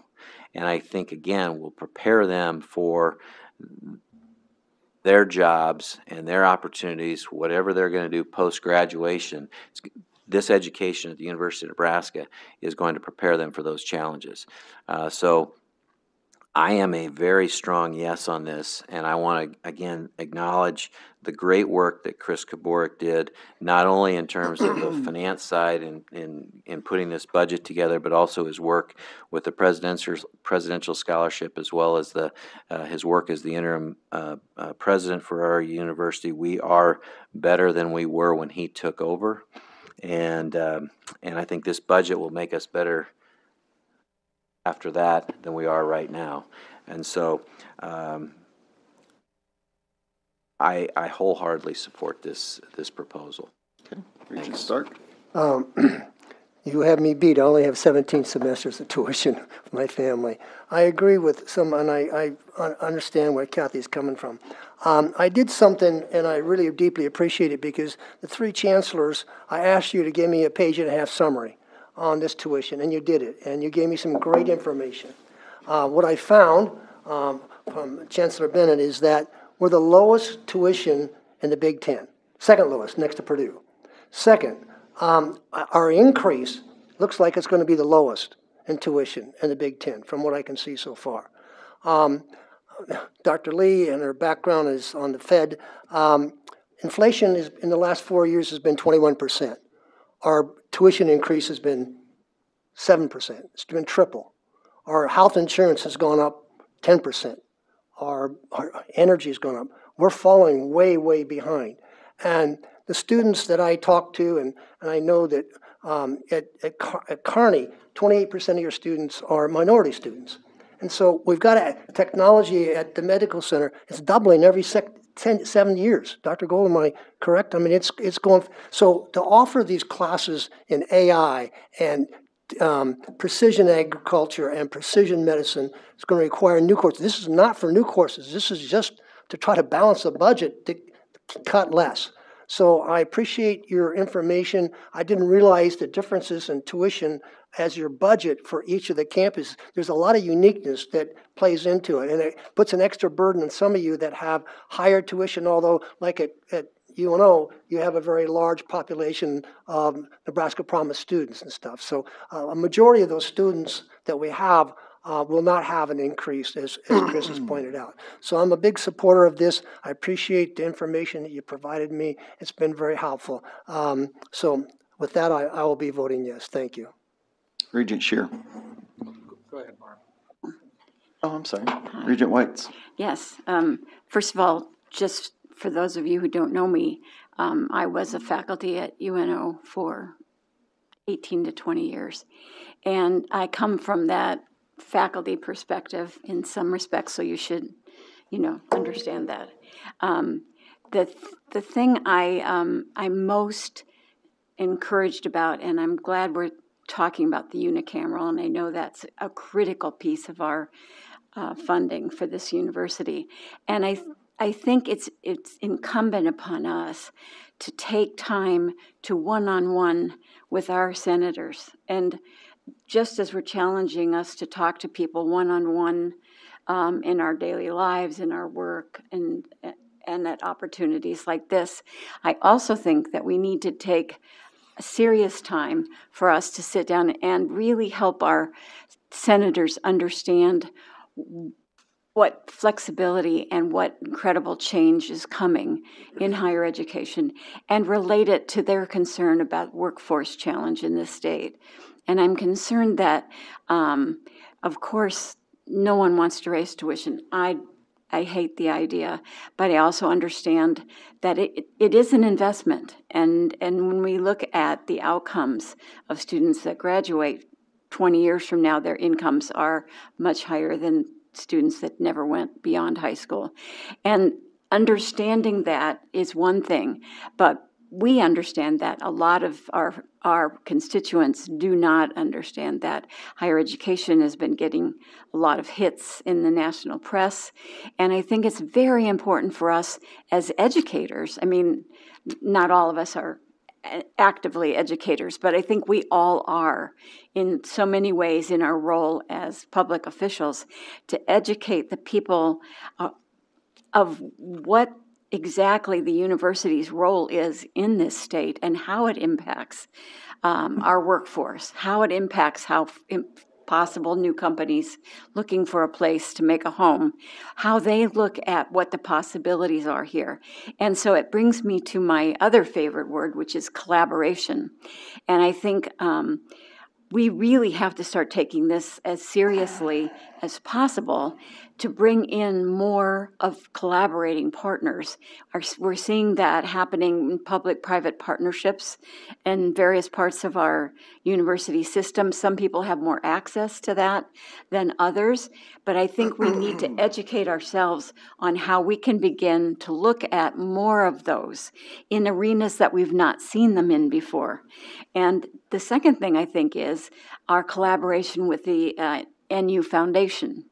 And um, creating um, a, a real sense for them of the possibilities and the future with, and they're in the midst of a huge campaign right now, and I'm really excited to be a part of it because they're doing really well, which tells me that people in Nebraska value education. They care about it, they want to invest in it. Sometimes they don't know exactly how to do that, and that's our job is to be as uh, transparent as we can about how we make change in this state and how we help people move in their social mobility. I hear Dr. Li talk about that quite frequently. And the budget is a critical factor in this. And we, I heard an incredible presentation um, at our uh, UNO campaign committee by our vice chancellor of uh, academics, Dr. Whew, I never say her name right, but I'm trying hard, um, about we, we're becoming well known in this country for a number of amazing programs that we've developed over these last years under the leadership that we've had. And people are starting to know that we have some amazing things happening here, and they're wanting to take our faculty. And because we pay our faculty um, at significantly lower levels. We do have a lower cost of living, so that helps a little bit. But we have to understand that if we don't continue to think about how we support our faculty and their and their presence and their research as a university that we're going to have our faculty picked off. They're getting offers. We saw, I you can say better than I can, but but we saw uh, 17 faculty who've received offers that more than double the faculty they're getting from us, the money that they're getting from us. We aren't going to keep our outstanding faculty if we continue to sort of treat them like the faculty that uh, unknown other universities have or that's average or we want to be the best and to be the best you've got to have the best people doing the teaching doing the administering and we've been working on that and it's exciting but it doesn't do it by itself. And the administration at varner hall can't do this all by themselves. The unicameral is our outreach to our constituents in many ways. And if we spend more time with them, if we really meet face to face, because I do think that's important. I think Chris Chris's work has pointed that out very clearly. We really need to help Nebraskans understand why this university is critical to the future of the economy of this state. And um, this budget, I know I hate three and a half percent, but I think it's at this point, we have to do it. We have to keep paying the faculty at least what we're paying them now. We should be paying them a lot more because they are incredible. And I would love for you to sometime hear this presentation of who's going after our faculty. It's a big time universities. And we don't want to lose them. We don't want to lose any of all of us. So we have really got to face the uncomfortable conversations that you're talking about. We have got to make decisions that are difficult. And what we have to do with that, though, is give the context, help people understand why it is we need to do this. What's in the future for us? We can't be short sighted and say, well, in the next two years, we want to do this. We've got to be talking about 10, 20 years from now in this state, or there won't be people, there won't be big companies in this state because they can go to other universities, other states who are more favorable in terms of what they pay their faculty, what budgets they have from whoever their philanthropy community is. And we have an amazing philanthropy community, and we need to use that as well. So I am going to vote yes on this because I think it's critical for us going forward, but we have to do better. And we've got to ask for more. And the only way we can ask for more is to prove to them why we need more and why that's essential to all of our well being across all the state, Beaver City we got to get rid of the lion cubs wandering around in Beaver City. You know, where was that vet group that was here? Anyway, um, I, I want to thank you for the hard work it is to try and get this in times of difficult money issues get this done. But i really i think we we i as a regent am committed to finding new sources of revenue new ways. I mean i've already told everybody about my idea about the columbarium under Memorial Field, so I won't talk about that. But I think we have to get to some really critical new revenue sources, and we've got to do it now. We can't sort of just deal with the crisis. We've got to be ahead of it, and I think that's what you've all been saying. So um, if you want to ask me about that bar- columbarium idea, I'm, I'll stay for a little while afterwards. So uh, thank you. I'm voting yes on this and hoping to challenge you to look for much more next year. Okay, thank you. Regent Scheer. Thank you. Um, I wasn't necessarily going to say anything because we burn a lot of time, but everybody else has put their two cents worth, so I will as well. And, you know, I, I look at things perhaps somewhat differently than a lot of different people. But when we look at tuition, tuition doesn't fund the university. It funds a very small part of the total university. And when we ask the student, or the student and their families, to participate in part of that increase, it may not be fair, Kathy, but that's life. They are receiving the benefit. It's not fair if you want to go down as far as you want because ultimately, yes, the legislature provides those funds, but it's the population, it's the people in Nebraska that provide the dollars. And we're asking them to provide those dollars, and maybe that's not fair either. But they're doing their part to help the increase with the, the university system. And I do think it's only applicable that the students and their families help participate in those additional funds because they're going to receive the direct benefit. Joe Blow doesn't receive the direct benefit other than having a higher educated population. He maybe has a better doctor to go visit. He maybe has a better accountant.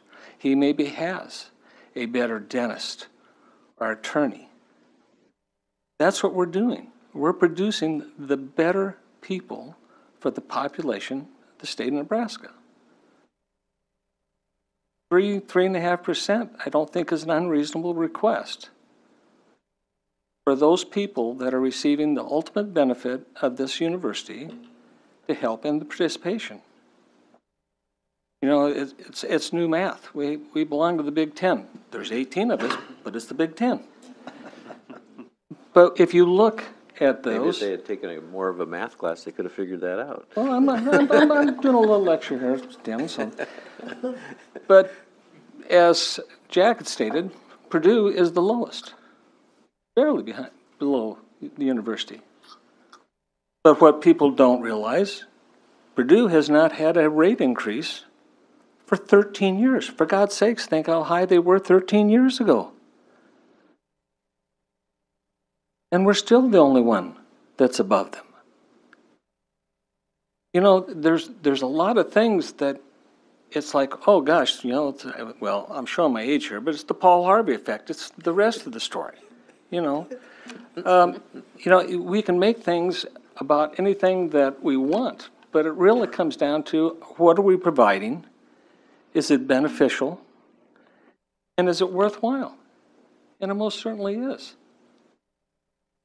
You know, life's not fair, but we still have to move forward.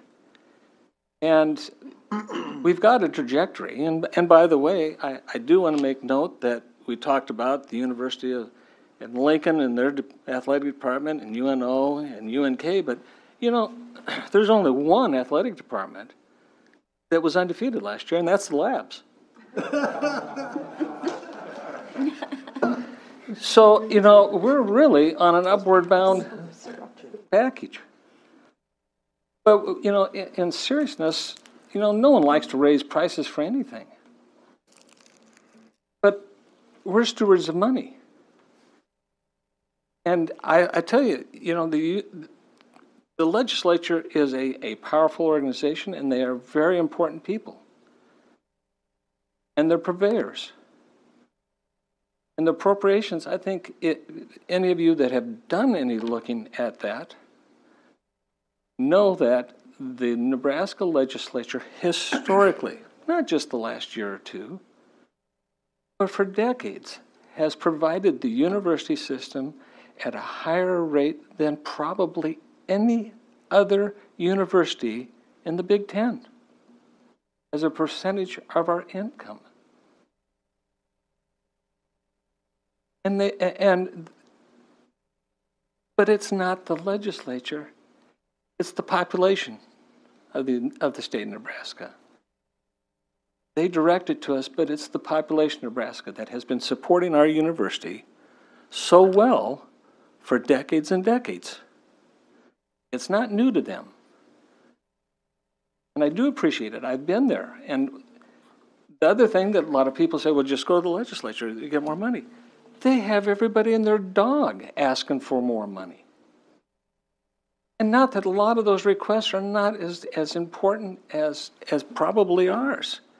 And that's where the tread really meets the, the turf, is because they have to make the ultimate decision where to utilize those that give them the best bang for their buck. And I, I got to believe that the university system is that. You know, Tim made the comment, or maybe it was Chris, that, you know, we've been looking at this 18 months. Well, guess what? I've been on this board for 18 months. What a hell of a time to join it, you know? you know I think it's going to be a great deal, and I walk in and say, well, we're broke and we got to do stuff. Welcome to my world, you know? But we've taken care of it. You know, we're different than a lot of organizations. We didn't pass the buck.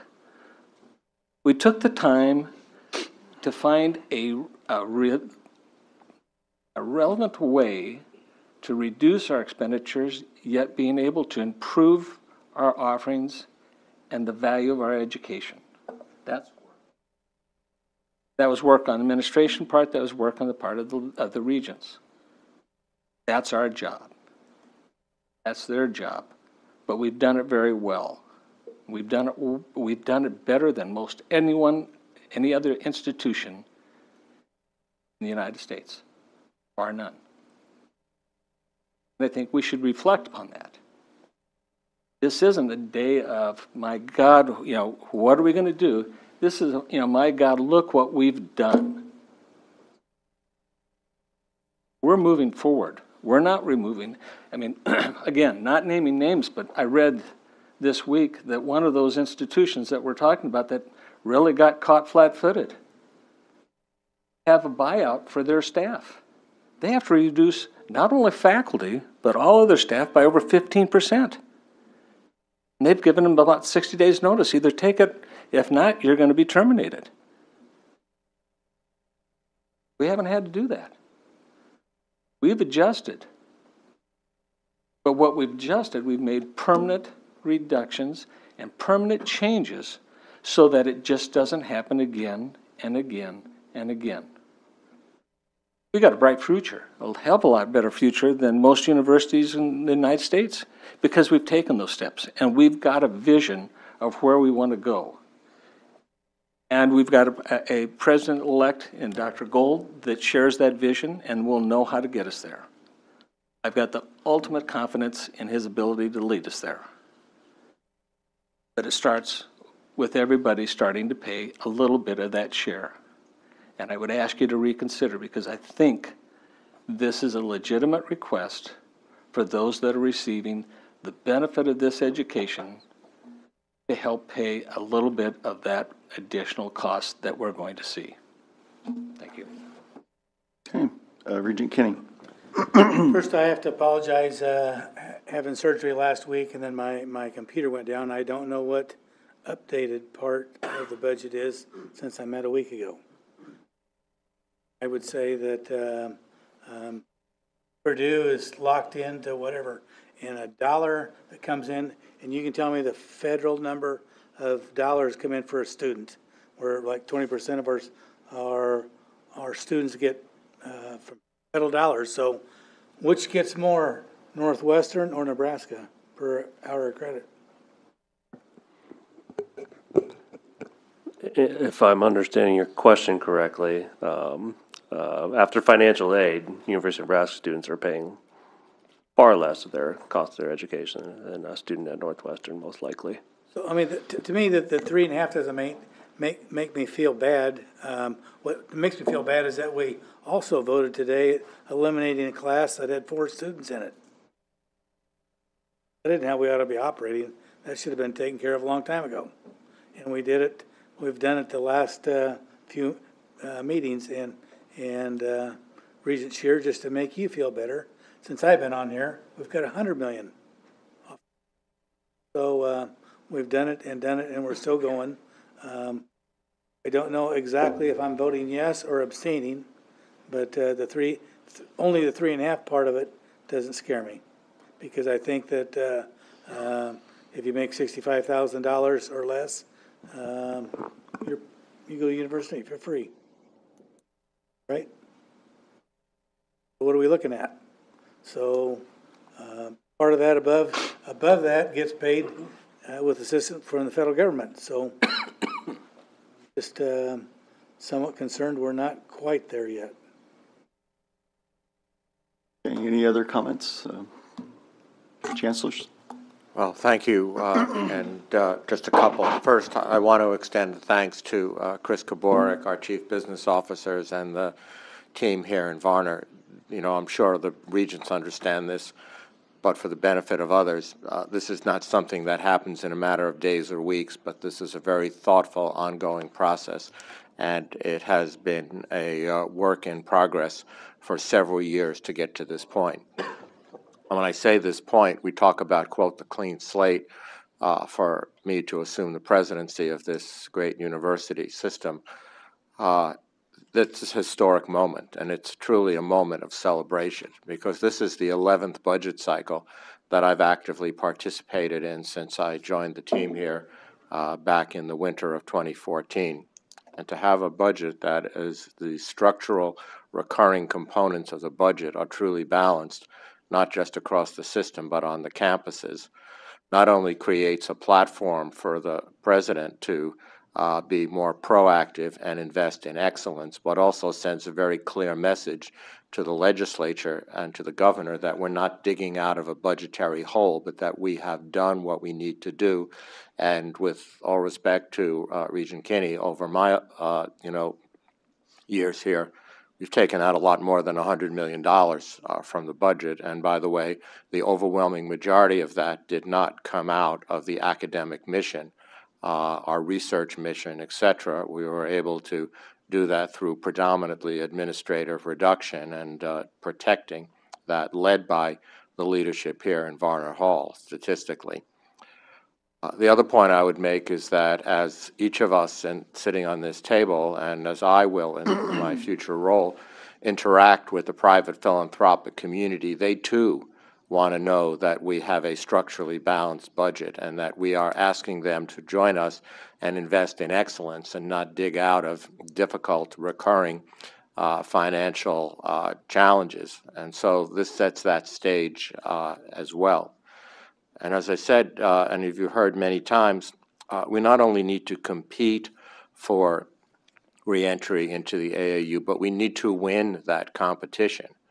And indeed, coming at this uh, with a structurally sound budget, coming at it with an opportunity to invest in excellence, uh, is going is relatively precedent setting among the uh, 70 some odd institutions that are currently the members of the AAU. I would bet you if you were to do a survey, there are fairly severe budgetary challenges even among the most elite universities uh, in our nation. And I think that that's going to be uh, an important uh, consideration. You know, again, those of you that know me knew that I grew up in the inner city of New York. You know that it were not for scholarships and work study and student loans, I never would have been able to have a college degree, let alone go to med school and do all the things that I've achieved. And believe me, having paid off those student loans for decades and having had to work uh, through med school and having had to work through college, I really understand what it means to change tuition and to change the out-of-pocket expenses. Uh, but I also know what it costs to buy a dozen eggs today, and I also know what it costs to put gas in your car. Uh, and you have to invest in these things. I think the really good news and the historic news for every Nebraskan and the parent of every child that is currently here and will be in the future uh, is that we are investing in their future. We, we don't, you're not investing, uh, the return on that investment, the return of this great university system is in the future of our state. And you don't measure that on a quarter by quarter or year by year basis. You measure that over decades to come. And our university has never been more critical to the economic future and to the quality of life uh, in the state of Nebraska than it is today. And then finally, uh, I would say the, the opposite of growth, which is what we must do, both in quantity and quality of what we deliver, is not maintaining the status quo. Unfortunately, the opposite of growth is non-sustainability. And we have to not only grow in volume of what we deliver, think enrollment, research grants, contracts, partnerships, philanthropy, uh, et cetera, but we have to address the serious issues of what are we going to look like in the future. And coming back to Chris's comments, this gives us a window of opportunity to do that, but do it in a way that we're not being pressured by lack of structural balance of the budget. So it is a unique moment in time uh, for us to move forward, and with my fellow chancellors and the members of our great Board of Regents, I, I think we're up for that challenge. So thank you for the opportunity to make some comments. Chancellor Li? Thank you, Chair. Um, first and foremost, I would like to say I'm tremendously grateful for the Board of Regents and our interim president, Kabourek. We spent a lot of mm-hmm. time debating on the budget, and I think it's a very healthy exercise. We don't have to agree because when it comes to money, it sometimes is a personal thing. So more than three years ago, when I first answered the call of University of Nebraska to come serve UNO, I wholeheartedly embrace UNO's mission and commitment to really provide what we call accessible and affordable education, quality education. So I spent a lot of nights thinking about it, and you know, by training, I'm a finance professor. I love looking at the numbers, and data is important. And participating in a lot of things and educating future president would uh, ask you. I asked myself, I as a parent who also pay tuition and fees for my daughter to go to school, every time when university said we need to increase tuition and fee, it's a, it's a tough thing to swallow. But that being said, let me put my hat on as a financial analyst and also as a chancellor. When time that we decide we want to sustain an operation for university, it is an ongoing concern. We have to think for the future to sustain university. When inflation is going forward and we skip a year or fail not to do anything to make up for it, we become facing a compound effect. Our faculty, our staff, they are also part of the labor workforce. We cannot continue to cut into compensating them equitably. We have to consider growing this university not just by balancing budget, but also by vision. We have to be financially smart to understand our responsibility to sustain a university. Recently, there is a very well published, uh, published data coming out from College Board, which is a national um, organization that pay a lot of attention to high ed pricing. According to College Board report, there is a wide variation in tuition levels among states.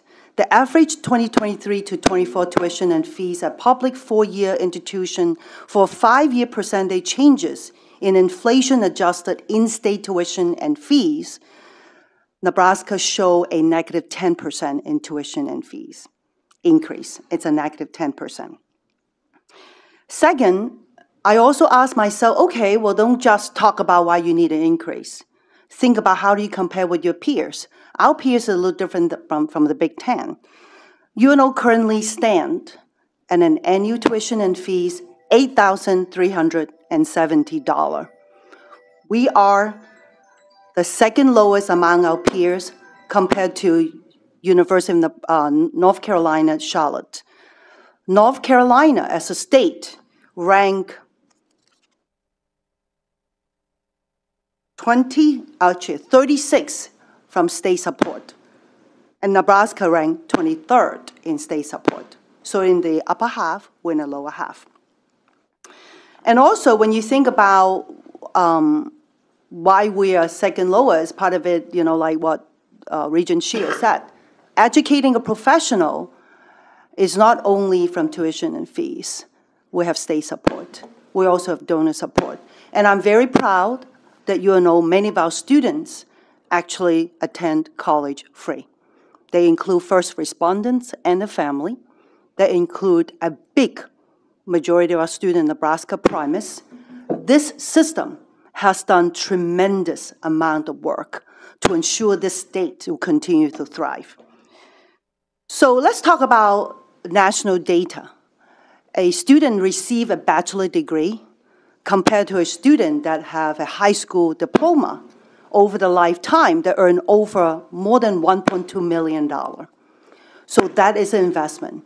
And higher education still remain one of the highest ROI. And I remain faithful to the statement that education is one of the rare commodity. Once you get it, you seldom uh, depreciate that commodity. You will continue to appreciate. So I think University of Nebraska, along with UNO, we think we debate ourselves for the longest and hardest time. We need to think harder about the future, not only about sustaining the, the budget or whatever, but really to think through how to educate our young student. Every time I look at our student region, I said we totally have to think what is the responsible way going forward. And um, the last thing, the Purdue magic, 13 years in making. And a lot of people know that. The differential between the in-state Purdue student versus the out-of-state, you know, student, it's three times. So Purdue under Mitch Daniel, which greatly loved and respected as a modern president in, in United States, he has done a lot of magical moments, including maximizing out-of-state tuition or maximizing out-of-state student attendance. That's how they sustain a budget. So with that, thank you for listening. Okay. Mr. Chairman, I- if- if time allows, I'd like to make just maybe Sure. very brief comments. Uh, First, Regent Wilmot, I always appreciate so much your perspective and your willingness to share your perspective and the convictions that you have. I'm a person of great conviction myself, so I have a lot of appreciation for another person who's unafraid to share their convictions, especially in a, in a public setting, so thank you for that. Uh, I do want to say philosophically, uh, as Chancellor at UNL, that one of the things that I have said to both Elizabeth and Paul Peckish before Elizabeth, and to Pete, uh, and to our leadership team, is that a tuition increase does not take the place of and is not instead of us doing the hard work of being fiscally conservative and making the hard decisions that need to be made about where we are now and what our future looks like. Uh, it's very difficult for me to see a way forward that doesn't include a tuition increase, but the tuition increase is another tool in our toolbox. It doesn't replace the need for us to make hard decisions. And I hope that as the meeting has progressed this morning, that you've seen evidence of UNL really digging in and making some hard decisions, both in letter and in spirit of what the board is asking us to do.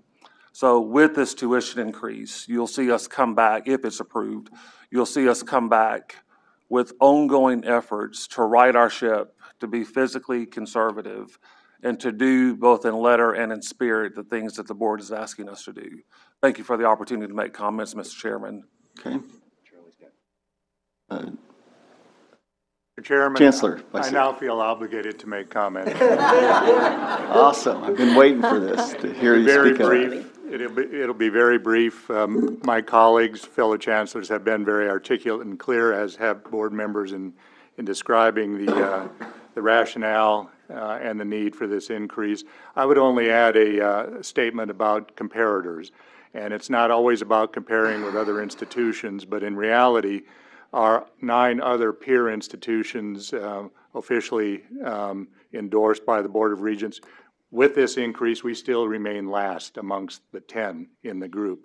If one looks at our athletic conference, the MIAA, We are uh, second from the last amongst those 11. Only Fort Hays State University uh, remains slightly below us. Uh, They don't have a Purdue magic, but they have a special kind of circumstance with a very significant uh, physical presence in China, physic- physical presence, and that causes them to have some leverage in terms of a different approach to uh, uh, subsidizing the needs that they have. So in short, I'm in complete agreement with uh, the sound rationale that's been presented, and I appreciate the opportunity to make this comparison with our, with our groups. Thank you. Okay, thank you. Anyone else? Regent? Um, I know that we've spent a while talking about this, but I think it's important that we hear about the student perspective as well. Um, I am in support of this budget, and I really appreciate your perspective, Regent Wilmot. It it is frus- frustrating. Tuition increases are frustrating for students, and for UNMC students, this is even our second time paying tuition.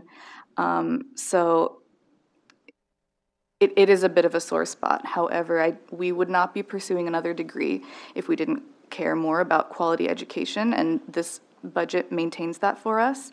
Um, and along with the quality of the education, our everyday experience would also be maintained. Um, so overall, in, uh, in favor of advancing toward our investments for UNMC students, the main one would be the Kearney Rural Health Complex. That would affect us most. Um, I think that this is fair, while uncomfortable, but uh, is a responsible step. Okay, thank you. Anyone else? Regents? Um, First of all, thank you, President Kabourek, for the proposed budget. Um, I'd just like to say that Nebraska students uh, want and deserve a quality education. And I believe that this proposed budget has a lot of promise. I believe that it has a vision behind it, uh, which is important, especially in times of uh, deficit or shortfall, and it can be lost. Um, I was originally on the fence about uh, tuition increase, considering last year's increase as well, on top of, you know, cost of groceries and overall cost of living. But I do believe that this budget has a a vision, and a tuition increase plays an important role in setting us up for success uh, through strategic, strategic investments, but uh, this budget and tuition increase will alleviate cuts our campuses will have to make uh, if tuition does not increase as well. And um, we will have to allow for each campus to better provide our quality education that us students strive for. Um, I'd also just like to add that in my capacity as student body president at UNK, uh, I'll be working to offer more resources and services to students so that our students get full value of the money that they spend, whether through this increased tuition uh, or the fees we increased as well. Please.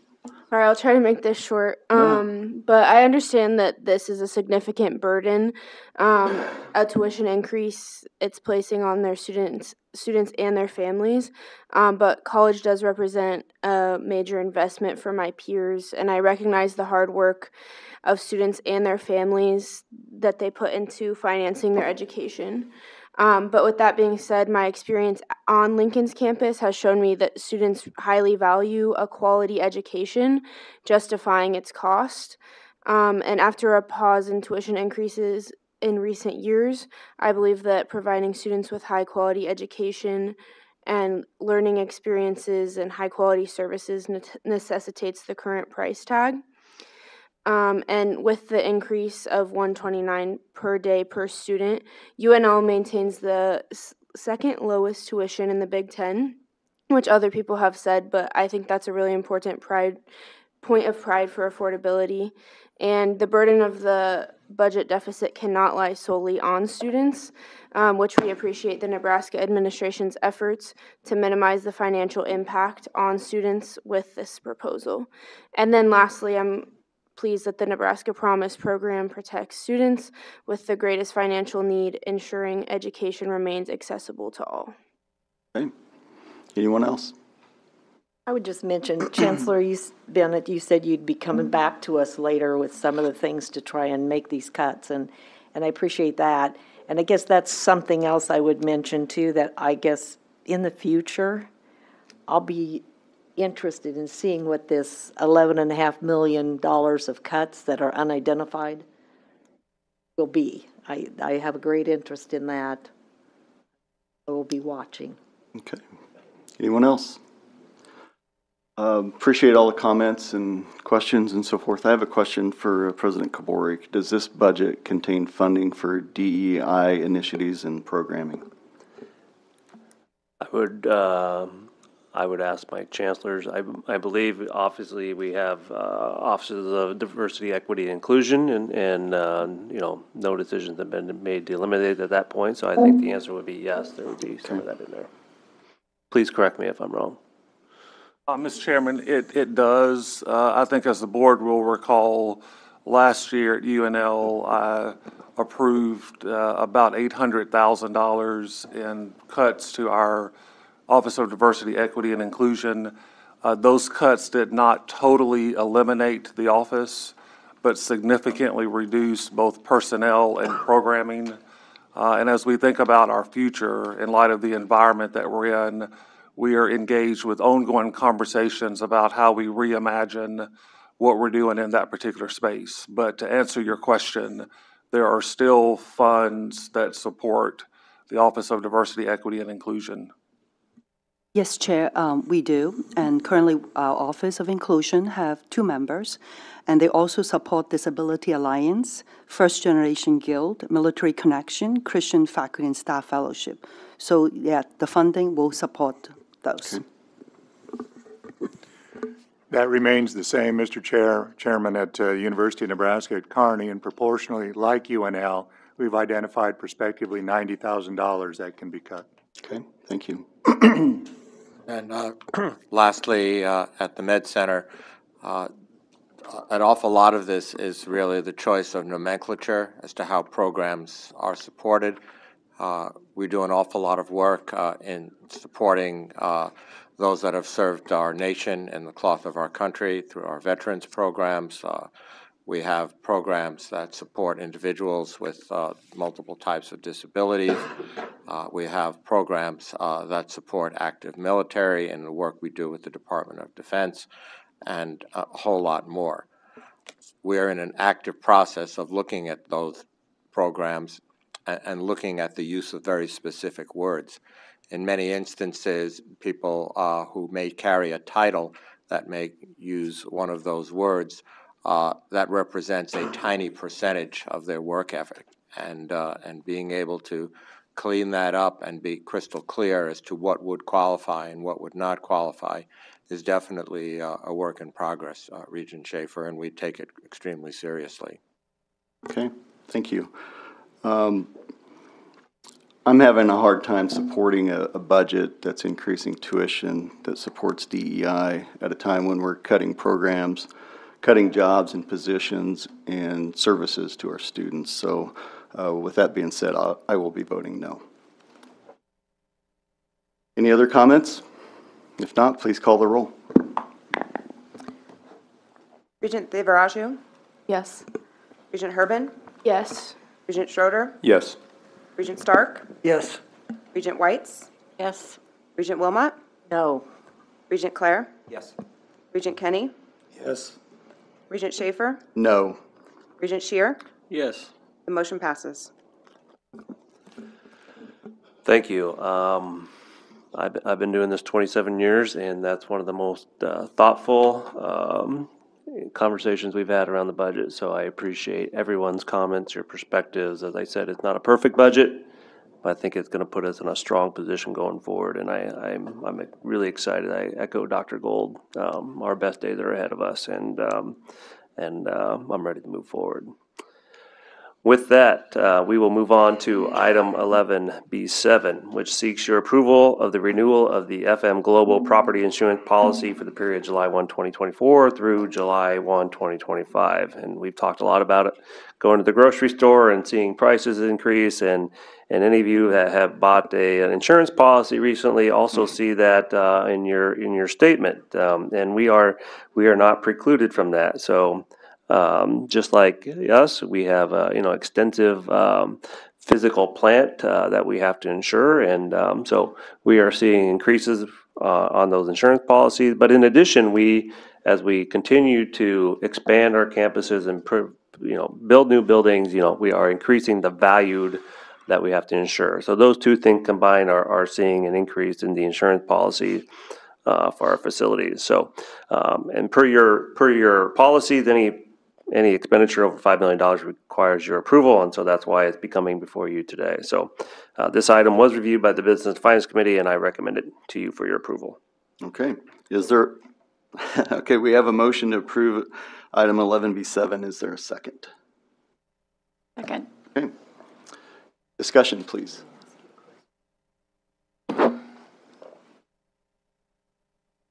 Take just a brief moment here. Okay, again, is there any discussion? Regent Scheer. Well- Well, just to uh, piggyback on uh, President Kabourek's comments, you know, we spent an hour and a half talking about a budget, and it was the tuition going up three and a half percent. And here's just one of the expenses, and granted, it's not ten percent of our budget, but it's just another example that trying to live within a three or three and a half percent increase on a total when everything else is going up ten or fifteen percent, uh, makes it just that much more difficult. And I, I, I think this is nice to have as a reminder that, um, I think all the regents as well as the administration and, and our chancellors and everyone down the line uh, has done a lot to try to improve uh, the university system while trying to maintain the expenses and reducing them where we can, but sometimes we don't have any control over those expenses. And so consequently, you know, we still have to equate our income and our expenses, and that, that makes difficult choices. Thank you. Thank you. Anyone else? I Regent had one, uh, Similar, you know, we talk about uh, just the insurance part, but how about health insurance for the university? How about utilities? And you talked about the, spending a $100 million more than we did ten years ago, but, you know, those things eat it up in a big hurry. Okay, anyone else? Please call the roll. Regent Herbin? Yes. Regent Schroeder? Yes. Regent Devaraju? Yes. Yes. Regent Wilmot? Yes. Regent Clare? Yes. Regent Kenney? Yes. Regent Schafer? Yes. Regent Scheer? Yes. Regent Stark? Yes. The motion passes. Thank you. Item 11B8 seeks your approval and authorization to execute a new cellular neutral host distributed antenna system for Memorial Stadium.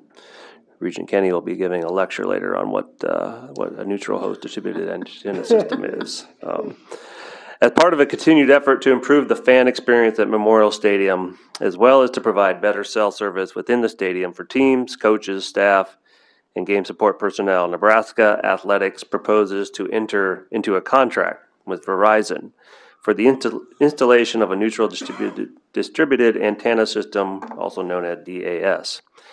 The DAS will provide coverage for 95% of the stadium, and other cell carriers will have an opportunity to en- enter into agreements with Verizon to use the DAS as well. I think it's really important to uh, to stress that there will be no cost to athletics for the installation of the DAS, and Verizon will pay monthly rent to athletics at a commercially reasonable rate for the 10-year term plus a potential five-year extension. Uh, The item was reviewed by the Business and Finance Committee, and I recommend it to you for your approval. Is there a motion to approve item eleven B eight? So move. Motion and a second. We have to make.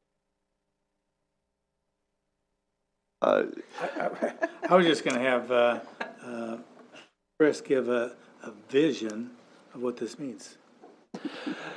So uh, I think, um, you know, I think this has started off, the vision is improved cellular service um, in the stadium. Seeing, I think many of us have been at the games and, um, you know, it, it's not a, not a pleasant experience. And I think that was heard uh, loud and clear in some of the surveys that were conducted by athletics uh, several years ago. And so I think, um, but in order to provide that better service, you have to have the infrastructure in place to do it. It's not just buying uh, b- bigger and better widgets. Um, you have to have the infrastructure in place. So this is a uh, athletics actually engaged in a consultant who has expertise in this area, who who came in and gave us a variety of uh, options, and, and with the consultant's um, uh, recommendation, this is the path forward that they, they recommended we go. And uh, we were fortunate to find a partner. Uh, You know, uh, this was offered to a number of uh, cellular carriers um, to partner with us, and we were fortunate that Verizon has, has indicated they would like to, to um, partner with, with us on this. And so, um, you know, and this will take some time. I don't believe, um, you know, we'll probably see significant improvement for this football season, but in time, um, you know, when you go to the, the stadium or to the game, um, you know, the ultimate vision is you're going to have um, much better Wi-Fi access than you have today. Regent Weitz. Um, My question is, it- as we look at possible changes to the stadium over the next few years, and we don't, we haven't clarified exactly what those changes will be, does this impact the installation of this new Wi-Fi system in the stadium, or will it have to be, will they be working with whatever changes are going to be done? Yeah, yeah, good question. I- Uh, obviously, we, we would not do anything, put it up and have to tear it down, um, in a couple years. So that's, this has been incorporated into the planning part, portion of, of whatever those changes might be. And to echo your sentiment, you know, those obviously will be brought back to the board before any, any changes, uh, come forward. But, so, short answer to your question is no, this will not be impacted by any future stadium improvements. Regent Kenney. One more, since we have our, our technology guy here, what security problems do you uh, envision this and there's, is it hundred percent, uh, secure or?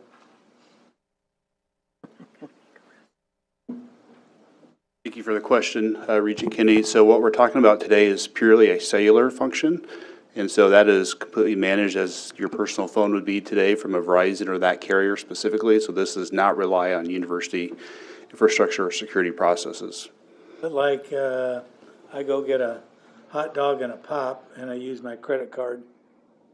Can they, uh, That, that would be different than this. So this is purely your cell phone connectivity. Phone. We are engaged with uh, President Kevork's leadership in athletics with that type of infrastructure conversation upcoming with the stadium remodel. Any other discussion? I would just mention that I'll be abstaining since my husband works for Verizon. Okay, thank you for sharing. Anyone else? If Not, please call the roll. Regent Schroeder. Yes. Regent Devaraju. Yes. Regent Herbin. Yes. Regent Wilmot. Abstain. Regent Clare. Kenney. yes. Regent Schafer. Yes. Regent Scheer. Yes. Regent Stark. Regent Weitz. The motion passes. Thank you. Uh, Item 11B9 seeks your approval and authorization to execute a contract with an outside food service vendor in Nebraska Athletics' new performance nutrition facility in the Osborne Legacy Complex. As Nebraska Athletics nears completion of the new Performance Nutrition Center, it is looking to take advantage of the improved layout and equipment and engage with a third-party vendor to increase customizable food options while supporting the nutritional needs of student athletes.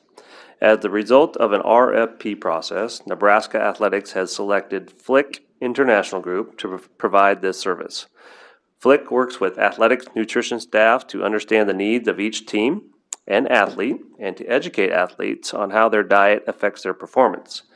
Flik currently works with several NFL franchises, but this is going to be their first collegiate property. Athletics has negotiated a five-year contract with Flik with the potential to extend for another five-year term. This item was reviewed by the Business and Finance Committee, and I recommend it to you for your approval. Is there a motion to approve item 11B9? So move. Second. Any discussion? Regent Scheer. Yeah, uh, Real quickly, because we've talked a lot about finances, this is part of the athletic department. And so I don't want uh, the general public to think that now we're spending more uh, university dollars on food service for athletics. This is a self-sustained uh, product of the uh, athletic department. They pay for it out of their raised funds, and it has no impact on ultimate of the university's uh, package that we've talked about, as far as the budget. Anyone else? Having none, please call the roll. Regent Devaraju? Yes. Regent Herbin? Yes. Regent Schroeder? Yes. Regent Clare? Yes. Regent Kenney? Yes. Regent Schafer? Yes. Regent Scheer? Yes. Regent Stark? Yes. Regent Weitz? Yes. Regent Wilmot? Yes. The motion passes. Thank you. Item 11B10 seeks your approval and authorization to execute a ground lease with Sullivan Development Company for the real property currently des- designated at parking lot 64 at UNMC. UNMC continues to work to provide alternative housing for its students, staff, and faculty. Under this ground lease, Sullivan Development Company will construct, lease, maintain, and manage residential row housing to help increase the availability of housing to campus and the surrounding community. The item was reviewed by the Business and Finance Committee, and I recommend it to you for your approval. Is there a motion to approve item 11B10? So move. Have a motion and a second. Any discussion? Having none, please call the roll. Regent Devaraju? Yes. Regent Herbin? Yes. Regent Schroeder? Regent Kenney? Yes. Regent Schafer? Yes. Regent Scheer? Yes. Regent Stark? Yes. Regent Weitz? Yes. Regent Wilmot? Yes. Regent Clare? The motion passes. Thank you. Item 11B11 seeks your approval and authorization to execute change order number one to the construction agreement with Valley Corporation for the Saddle Creek Public Improvements Project at UNMC. Uh, As you probably recall, the board approved phases one and two of the Saddle Creek infrastructure improvements back in 2022. Now with additional funding provided by the city of Omaha, UNMC is seeking approval of Phase Three, which includes additional improvements along Saddle Creek from Leavenworth to Farnam Streets. In order to complete Phase Three, the contract with Valley Corporation will need to be increased by the change order. This item was reviewed by the Business and Finance Committee, and I recommend it to you for your approval. Is there a motion to approve item 11B11? Yes. Motion and a second. Any discussion? Roll call, please. Regent Herbin? Yes. Regent Schroeder? Yes. Regent Devaraju? Yes. Regent Schafer? Yes. Regent Scheer? Yes. Regent Stark? Yes. Regent Weitz? Yes. Regent Wilmot? Yes. Regent Clare? Yes. Regent Kenney? Yes. The motion passes. Thank you. That brings us to our last item. Item 11B12 seeks your approval and authorization to dispose of the property and improvements located at 428 South 38th Street in Omaha, known as the International House. Uh, Historically, the house has been used as student housing but has remained primarily vacant for approximately three years. And based on estimated costs for renovation and the limitations on repurposing the structure, UNMC has determined that it is in the best interest to dispose of the property and invest the proceeds in a higher and better use. The item was reviewed by the Business and Finance Committee, and I recommend it to you for your approval. Is there a motion to approve item 11B12? Second. Any discussion? Yes, I'd like to know, what are our plans? Chancellor?